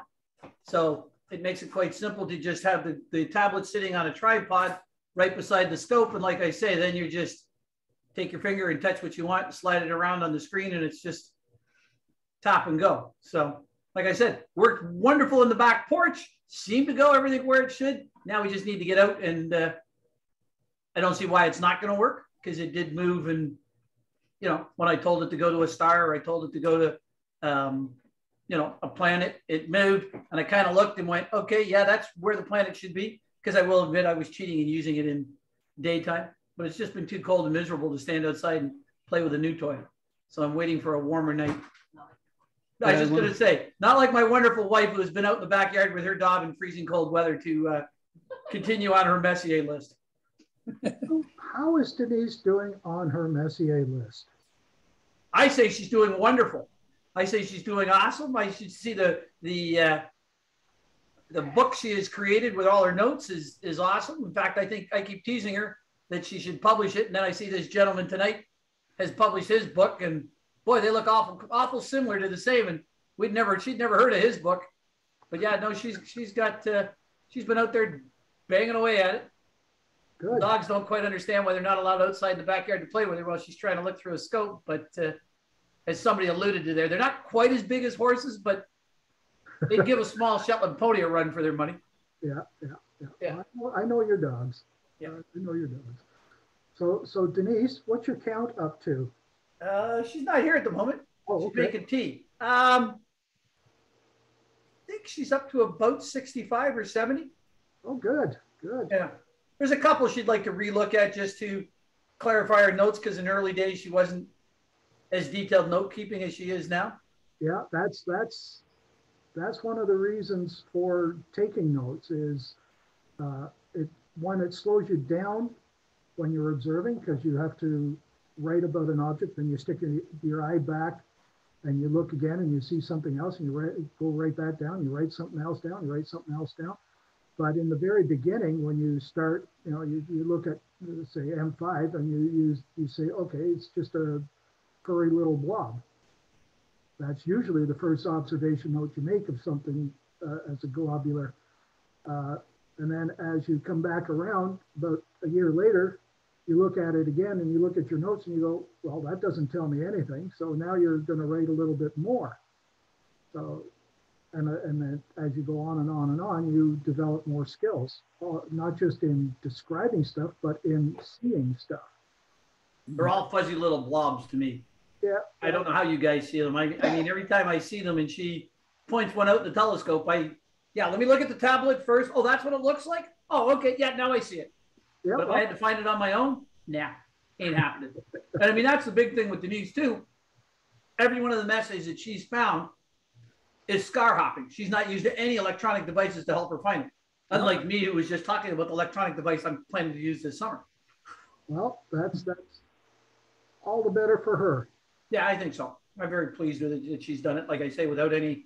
And it was interesting to hear that gentleman say that the RASC Messier has a box to tick off whether it was electronically helped or whether you did it on your own. Yep. Because yeah, because she can honestly, truly say she has found it. Well, I'm, I'm didn't have a computer to kind of take her to that spot. She's had to sky hop around and, and get to the exact spot well, I hope that, zoom in. I hope that when she gets to her 70th and completes her 70th Messier object, that she submits for the award. I really hope so. I know she's been working at it a long time. Anyway, I want to mention something here. Um, I have a Celestron uh, NexStar 4 SE.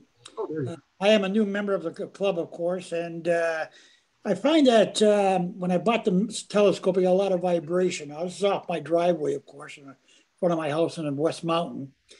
But I bought these pads on Amazon, and it really helped a lot get rid of the vibration. Have you ever heard of anybody using that? Yes, the, uh, the vibration suppression pads, the little black round things with orange circles. That's correct. Yes. Yeah. Those, those are pretty good. Um, they're, they're very good somewhere like if you're on a dock or something or on, on a deck. Uh, I have it on a deck too as well. I I actually get better results on a deck because the road, I think there's a lot of vibration from uh, know, well and traffic. Now normally I do my sightings at night, but I find at the back of my at the deck it's a lot more uh, more stable. Right. I think, I think one of the issues you might be having, having read your information earlier, is uh, just the, the, uh, the fact that the tripod itself is fairly light. uh, And you get a lot of motion from that. It's not, it's not heavy.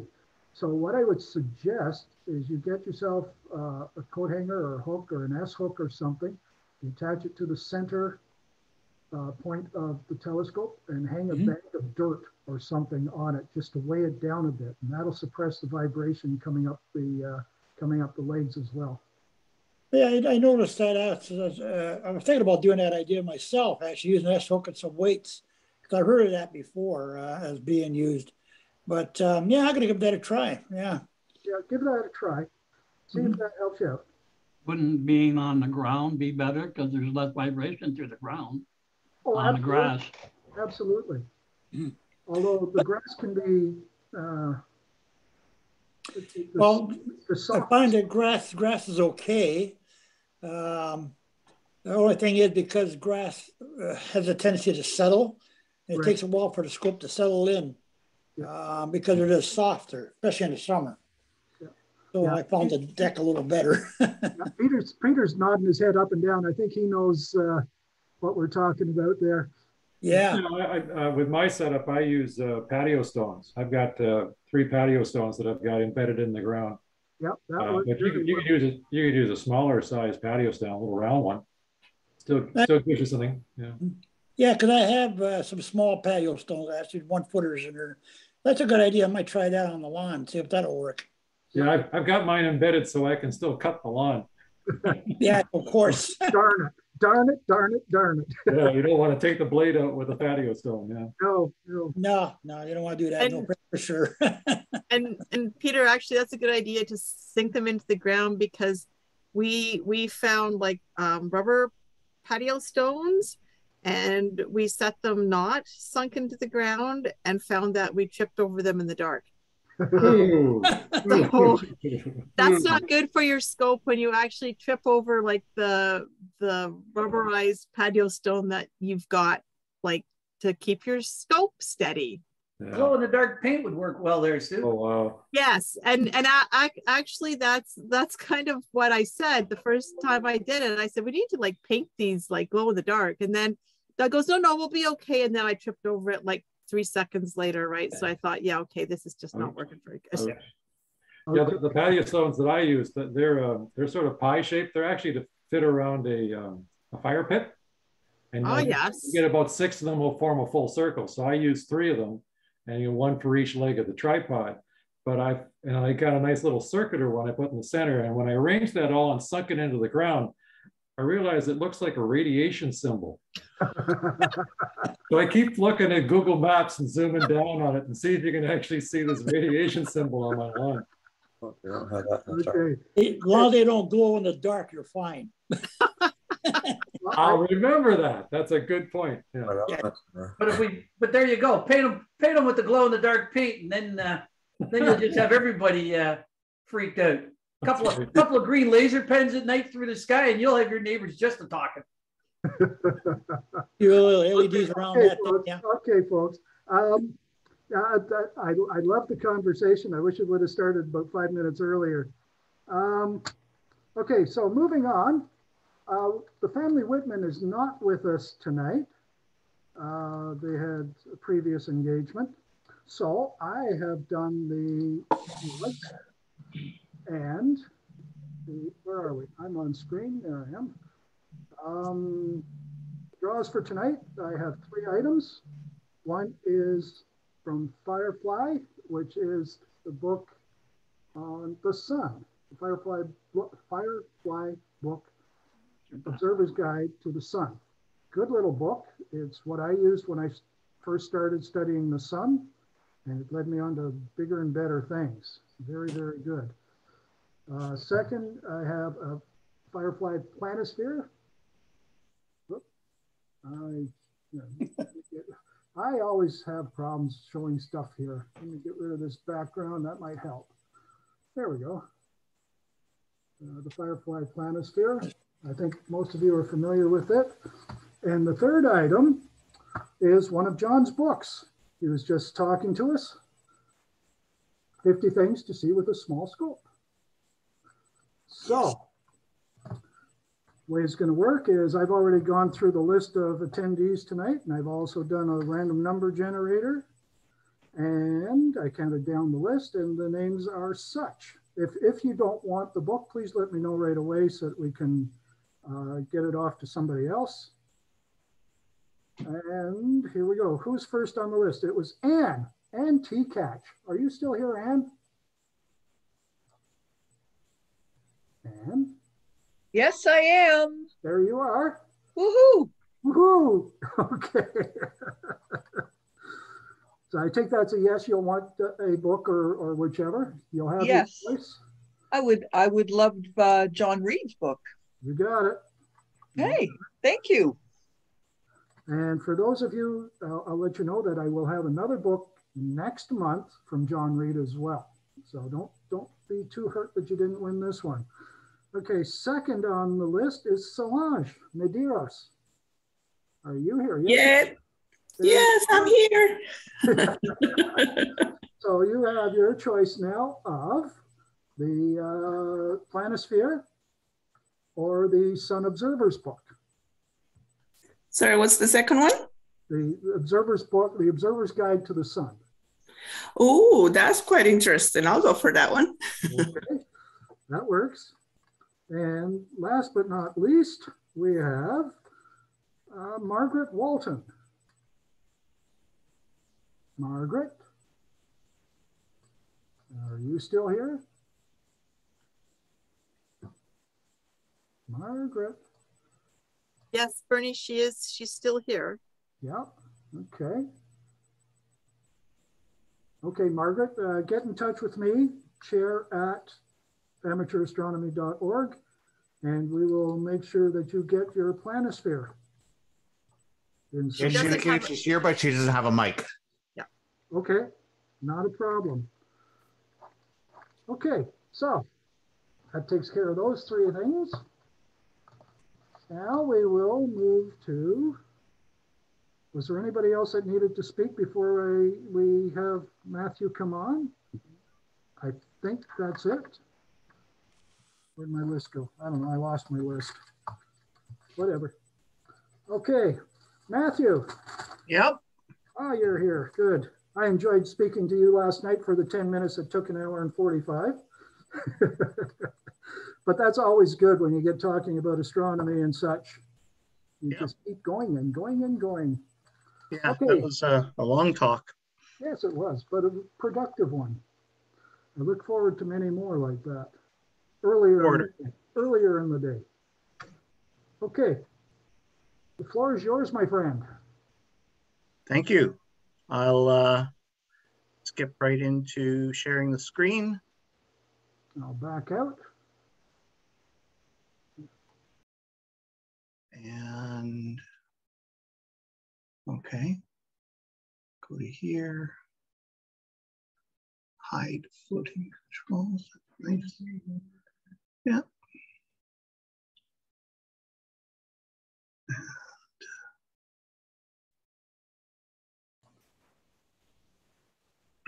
Okay, Okay. you're- oh, you're up. I'm good. Um, so welcome to the Not Sky this month. I thought for change I'd do something a bit different. And so what I'm going to talk about this month is a talk more directed at beginners to intermediates. Uh, and it's going to be about binocular observing and tying in doing the binocular observing with stellarium and how to learn how to star hop to targets, um, especially in the in town where you can't see too many stars using your binoculars and some of the settings in Stellarium that you might want to use to do it.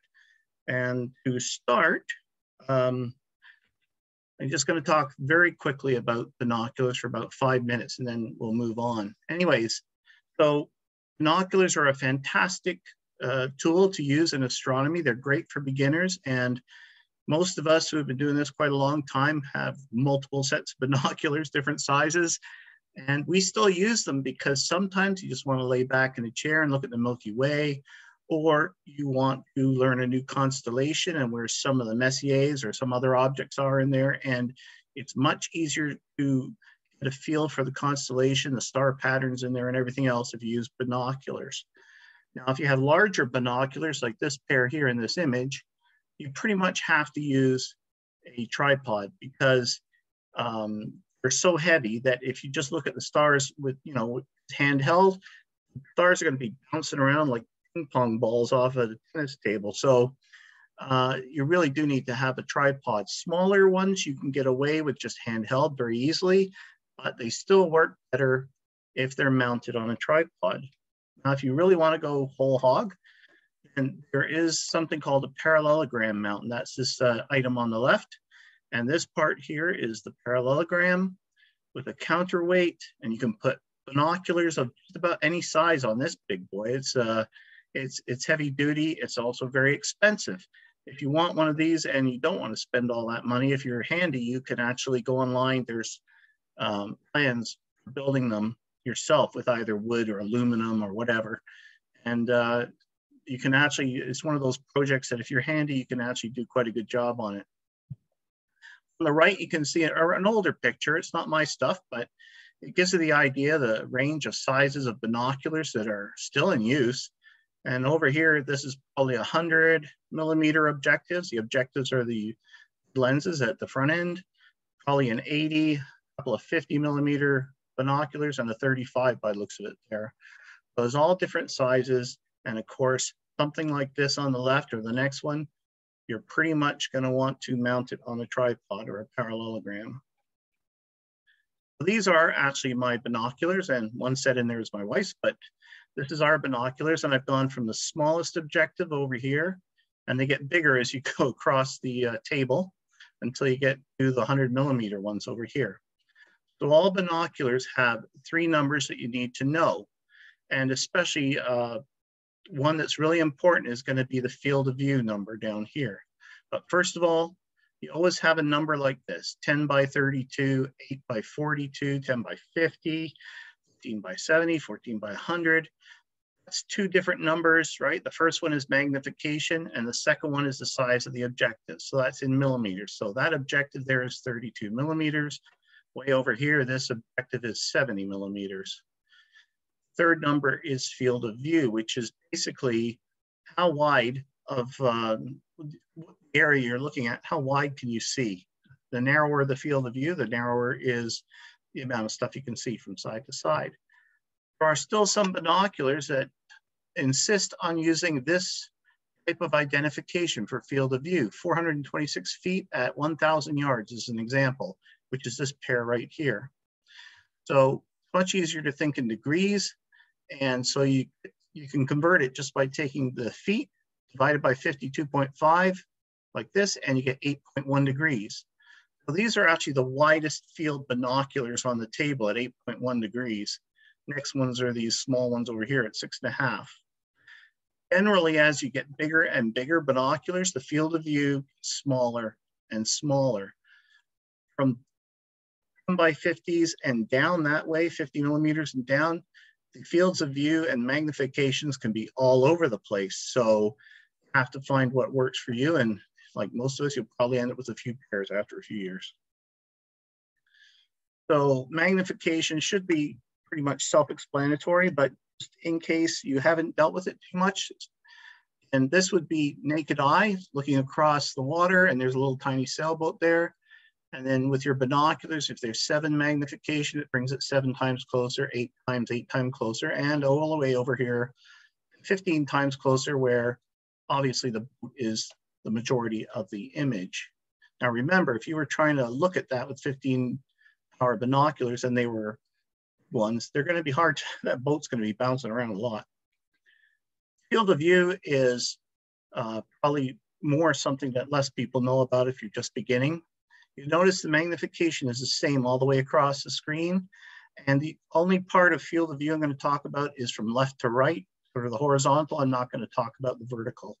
But just pretend that these binoculars only generate a narrower or wider field of view in the horizontal. So here, with a wide field, you've got lots of water before and after the boat. Medium field of view, you're starting to lose the water, and a narrow field of view, uh, you've hard, hardly got anything other than the boat. And that might equate to like an eight degree field of view and a five and a three and a half or something here. I just made this up. It gives you the idea of what field of view is. Magnification is the same. As the field of view narrows, you can see less of the sky or harbor or whatever it is you're looking at. So those numbers I keep mentioning are always on binoculars. So on this, quite a few pairs have printed on the focus ring, which is, you know, um, right in the dead center of the binoculars. So seven by 50 and 6.2 degrees on this pair. So seven magnification, 50 millimeter objectives, 6.2 degree field of view, which would be pretty, pretty standard. Six and a half is probably, you know, pretty normal. These are the pair that are the really wide field, 8.1 degree ones, and you can see it's 8 by 42, and the field of view is 426 feet. I've always hated that because it never means much to me uh, compared to degrees. So what's going to happen is I'm going to shut down the PowerPoint. I'm going to bring up Stellarium. Stellarium is a planetarium piece of software. It's free. It's excellent. It runs all types of platforms. I use the one on my uh, PC, my laptop all the time. Uh, if you haven't have it already, you can get it from stellarium.org. Now this is important. There's if you get it from other places, it could have viruses in it. If you get it from stellarium.org, it is clean. And the newest version is 21.3, and you can get it right off the website. So here we go. We're going to figure out how to incorporate the two things together.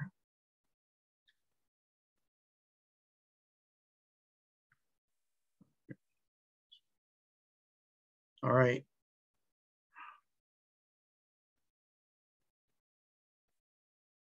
Here's the version number up here, 21.3, just in the top left corner of that box. So when Stellarium comes up, it comes up to now, whatever the time and date is now. Um, I'm gonna just get rid of this again because it's right in the way. If I can. Hide. There we go. All right. So first thing you want to do is know down the left side, there are some icons and they come up. And at the bottom, there's another set of icons along here.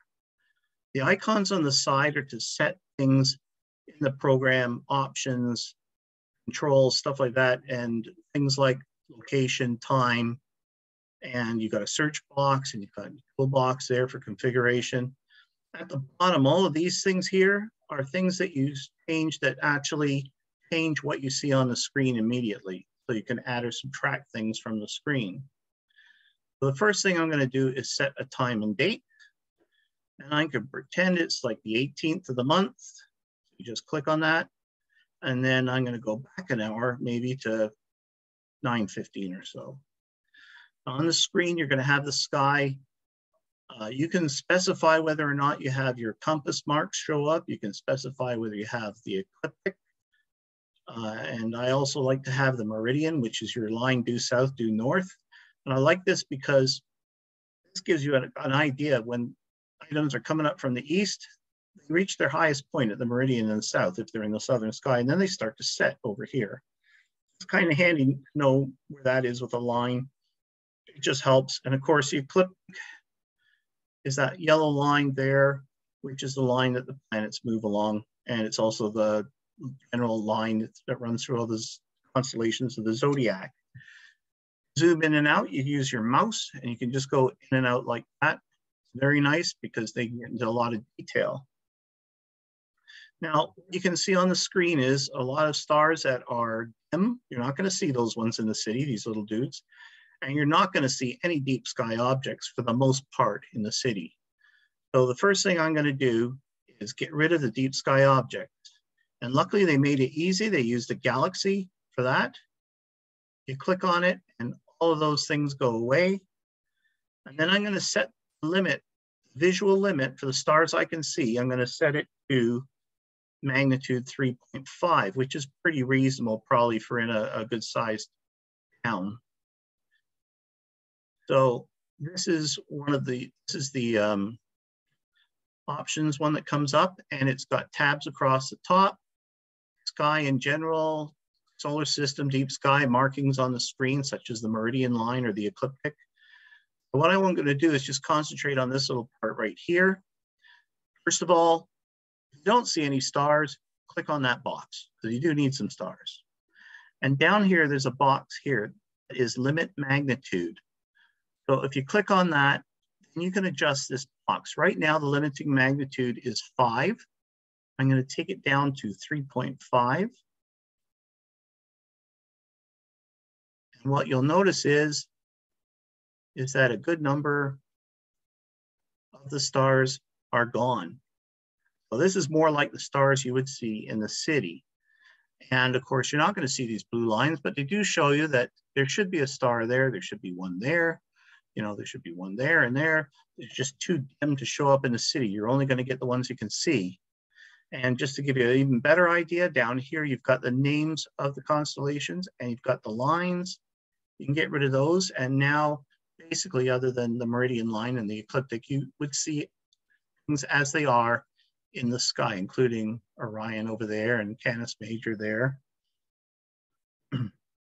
okay, so next thing I want to do is add a circle that will appear on the screen that's going to simulate field of view of your binoculars. Now, there's several ways to do this, but this is the one I'm going to show you. You go back into this little box here and you go to markings. And this looks really, really complicated. It's not. This has got cardinal points, which are your north, south, east, west. This is where you tick off the ecliptic and the meridian and the zenith. And if you come down here, one called circular field of view, you click on that. I'm going to pretend that our binoculars have a seven degree field of view. Okay, so that's the field of view of the binoculars we're going to pretend use. So I take this up to seven click outside the box and still I've got a blue ring on the sky and that was the field of view of your binoculars. So I can use the mouse to drag the sky around and put that circle wherever I want. So I'm gonna put it on the belt of Orion. I can use the wheel on the mouse to zoom in. And there you go. You can see with a seven degree field of view, you easily get the belt in. And in fact, you could also get your most of the Orion Nebula in there as well. So these are nice wide field binoculars. So next, what you really want to do is you've got your sky figured out. You know what your dimmest stars are. You can see naked eye.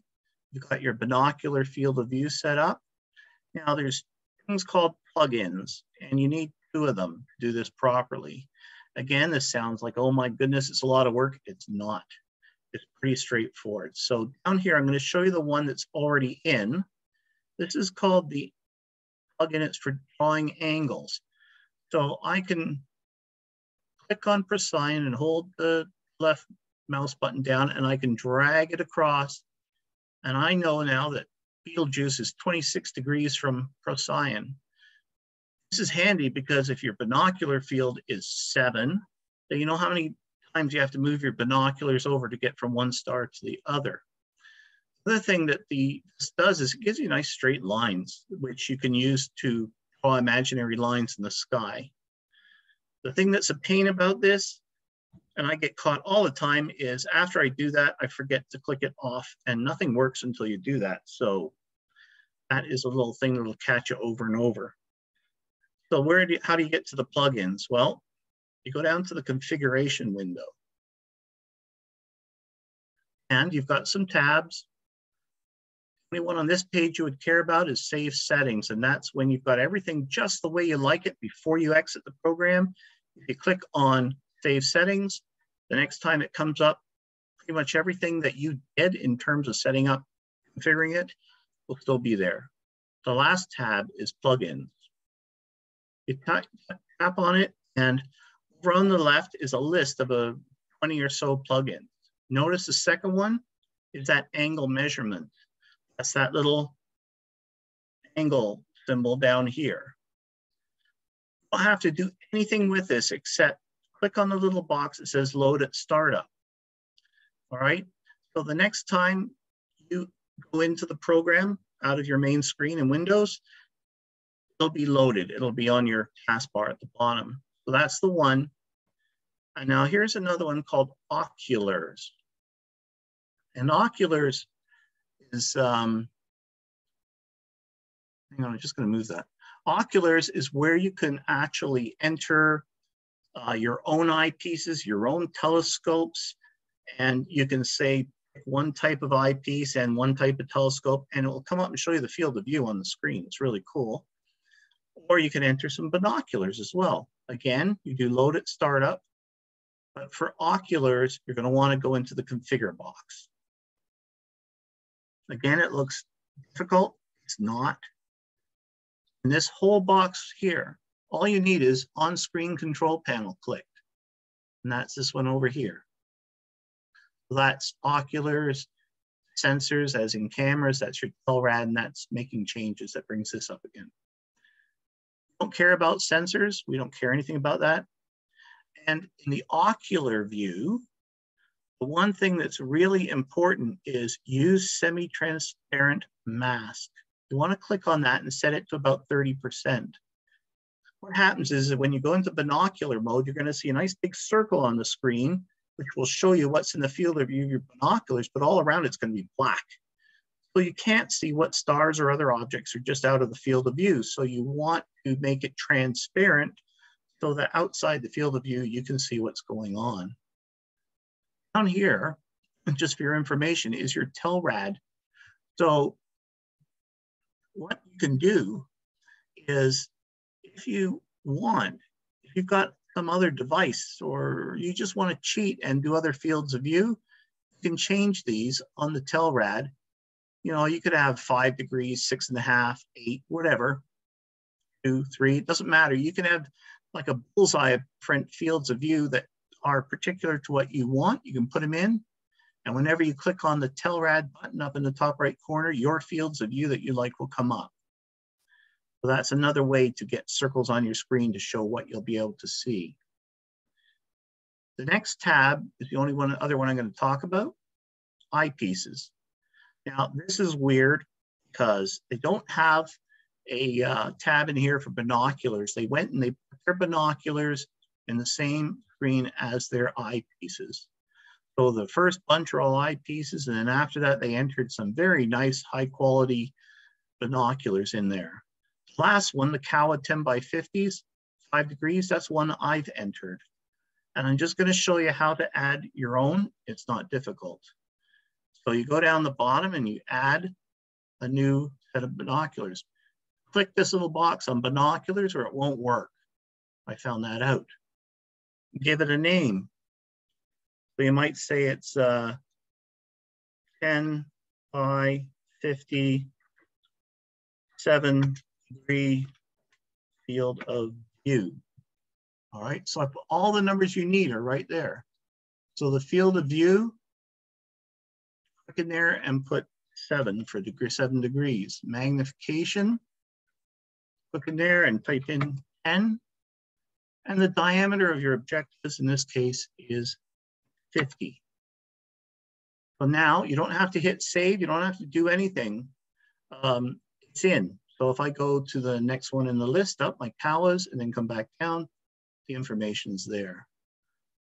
So that's how you enter your own binoculars into this. And it's a very similar way of doing the eyepieces or doing telescopes. It's uh, something you can play with. Remember, you can't really wreck this program. Uh, if everything starts going weird and you're sort of mixed up, if you exit out and you haven't saved your settings, you're just back where you started. You can go back in and try again. So I'm gonna exit out of that. so I've done that. And so here again in the center, oops, got one more there. Sorry, here in the center again, you've got this field of view that I created.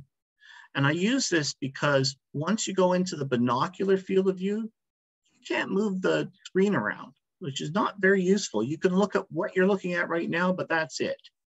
So if I click on the ocular view, you can see what it says here. It's my Kowa 10 by 50s with a five degree field of view. The blue ring is the seven degrees we already did, and the red ring is around what you'd see with the binoculars. You notice that the five degree is a much tighter view with the stars closer to the edges here. Now, there's one other thing. When you use binoculars or telescope, you can see dimmer stars. And typically, I would say in town, if you're naked eye, you can see magnitude 3.5. You should be able to go to 6 to 7.5 in that range. So you can go back into your viewing port here, back to sky, and you can go to your limit magnitude and you can bump it. And somehow it seems to know that this is different than your regular view and it tracks both of these numbers. So I just changed it to 7.5. And now magically in your field of view is that nice snake that runs through the belt of Orion.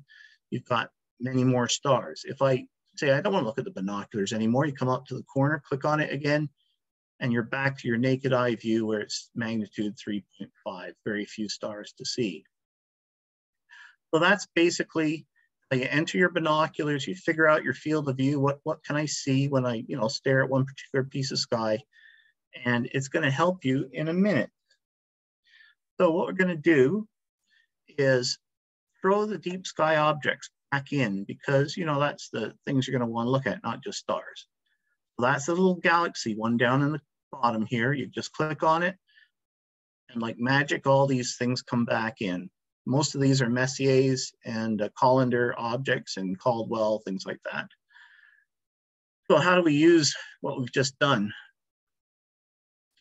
I'm going to put the lines back in because, well, it's a lot easier to see what's going on. So right here is M67. Open cluster is a pretty little one. But one thing you'll notice is, is that there's hardly any bright stars in this whole piece of sky, and it's a fairly large piece of sky. None of the stars in Cancer are visible in the city. Even in Brantford here at the edge of town, I never see them. It's just got to use binoculars to ha even have a hope. But how are you going to find this little tiny cluster that's only like three quarters of a degree across in your binoculars if you've got not, no guideposts? Well, this is where the angle plugin comes in really handy. So down at the bottom, there's the angle plugin. You click on it.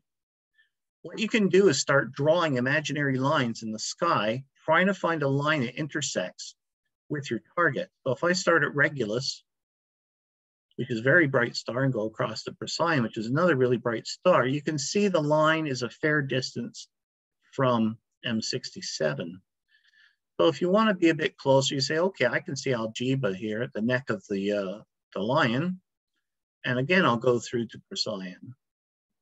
And this is much closer. That means when I run the binoculars along this imaginary line in the sky, I'm going to run right into it if, as long as I follow that line with the binoculars. So the thing is, is that you may not know exactly where on that line it is. And again, the angle tool is what's going to save you because I can click on M67 and make the old line go away, back to Canis Minor, and sometimes you have to move the cursor around a bit to see what's going on, but basically that's 18.7 degrees, let's call it 19 degrees. So M67 is 19 degrees from Procyon.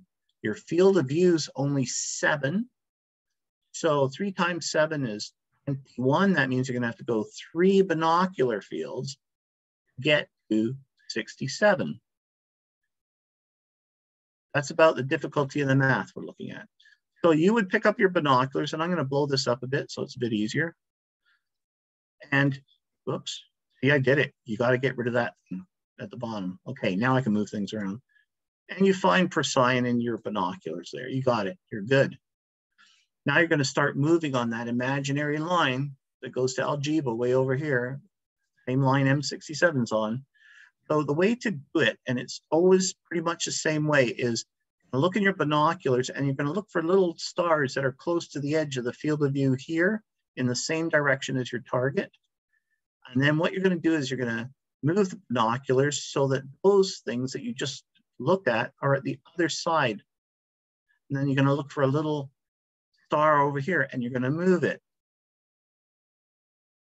So I've moved two fields, three fields, three, and then you're going to move it one more time. And there you go. It should be right there. So generally speaking, um, this is how you move around in the sky, especially when you have a lack of markers, is you've got to draw imaginary lines, know how much of the sky you can see with your binoculars, and then count fields of view across. And this is why the angle uh, plugin here is extremely useful. So I'll do one more in a different orientation, but it's basically the same. M3, fabulous globular, uh, really beautiful. Again, in that part of the sky, I find in Brantford here, this from here to here is huge.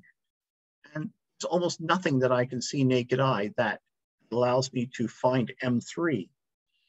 But I can use my angle plugin here. You can see Cor Caroli, and you can see Arcturus. And when you happen to do that, it's beautiful. It works right out, works right on like that. It's right on the line. You now know that if you can draw an imaginary line in the sky um, from Cor Caroli to Arcturus, that M3 is along that line. So same idea. I'm going to turn off the angle thing. I'm going to drag, you're going to put your binoculars in the center Arcturus Remember which way you're going, and you're going to drag Arcturus to the opposite end so that you're pointing up this way. To find a really dim star here, and you're going to pull it down. And look at M3 is in the corner of your field of view. If you don't have good peripheral vision, then maybe you just think, okay, it's right at the very edge. I'm going to just move it a bit more, and you'll have it. This is really quite simple once you get used to the idea of drawing the lines in Stellarium or on your charts or however you do it. And then with a ruler, just put it down and, you know, between the lines on your chart, uh, between the stars, sorry, the line there. And once you do that and you know how much field of view you've got, you can actually just sort of wander back and forth on these lines looking for your target. Knowing how many fields you have to move is really very helpful and it should help you a lot in uh, learning how to star hop around the sky is to start by star hopping with binoculars.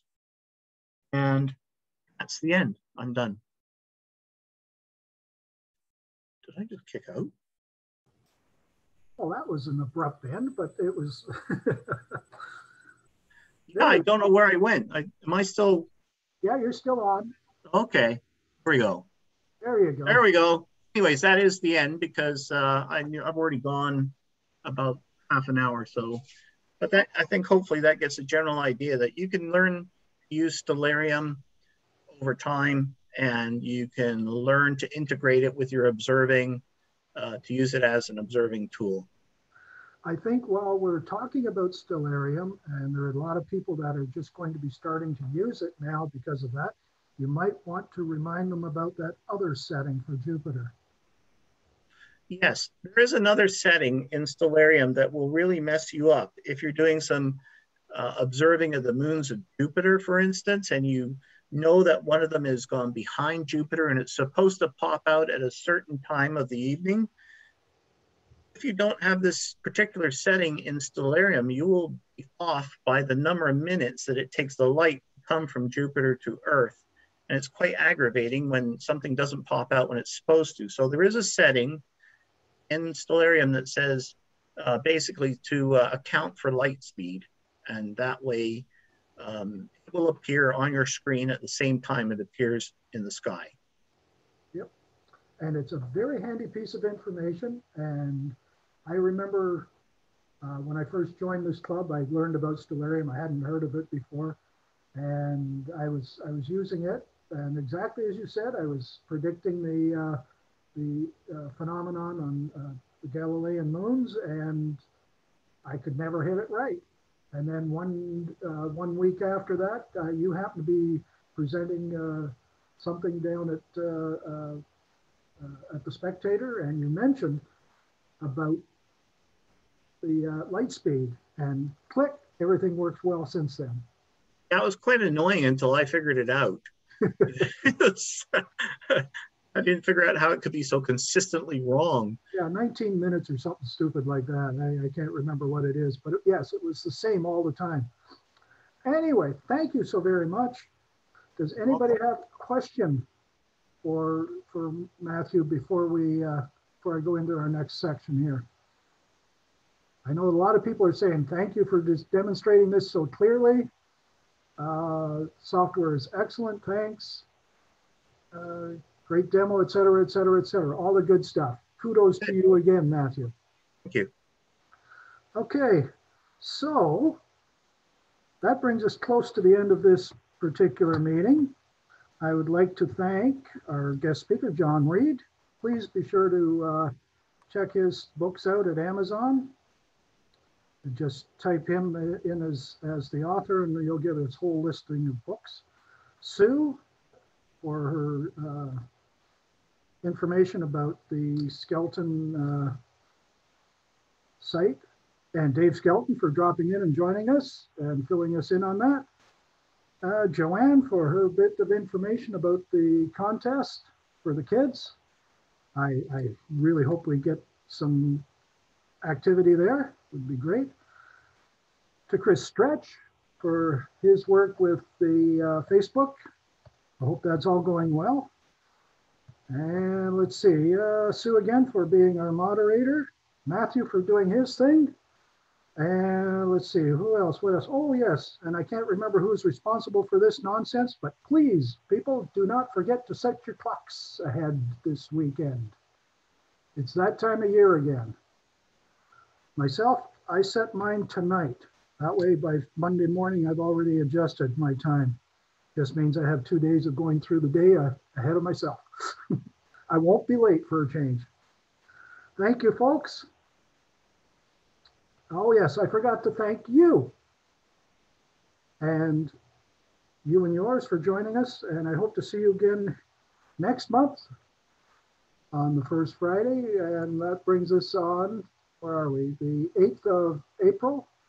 Our speakers, we have a special event. Uh, it's going to be a moon month. So if you have any interest in the moon, this is the month you want to be here. We'll be having uh, Larry McHenry speak to us about beginners observing the moon. We'll have Erika Rix from uh, uh, formerly of the Sky and Telescope uh, doing a, a, presentation on sketching, possibly sketching on the moon. I and I will be releasing the uh, uh, Hamilton Amateur Astronomers moon observing program on that occasion. I don't know what Matthew has in mind. I, I you never know with Matthew, which is always a good surprise. I never know. I know. That- That's, that's what the surprise is. Anyway, thank you, folks. I was gonna say, again, I was gonna say drive safe. Okay, well, anyway, drive safe and play fair. If you're going out, it's a little slick out there. Be careful, please. Like to see you back next month. Good night, everybody.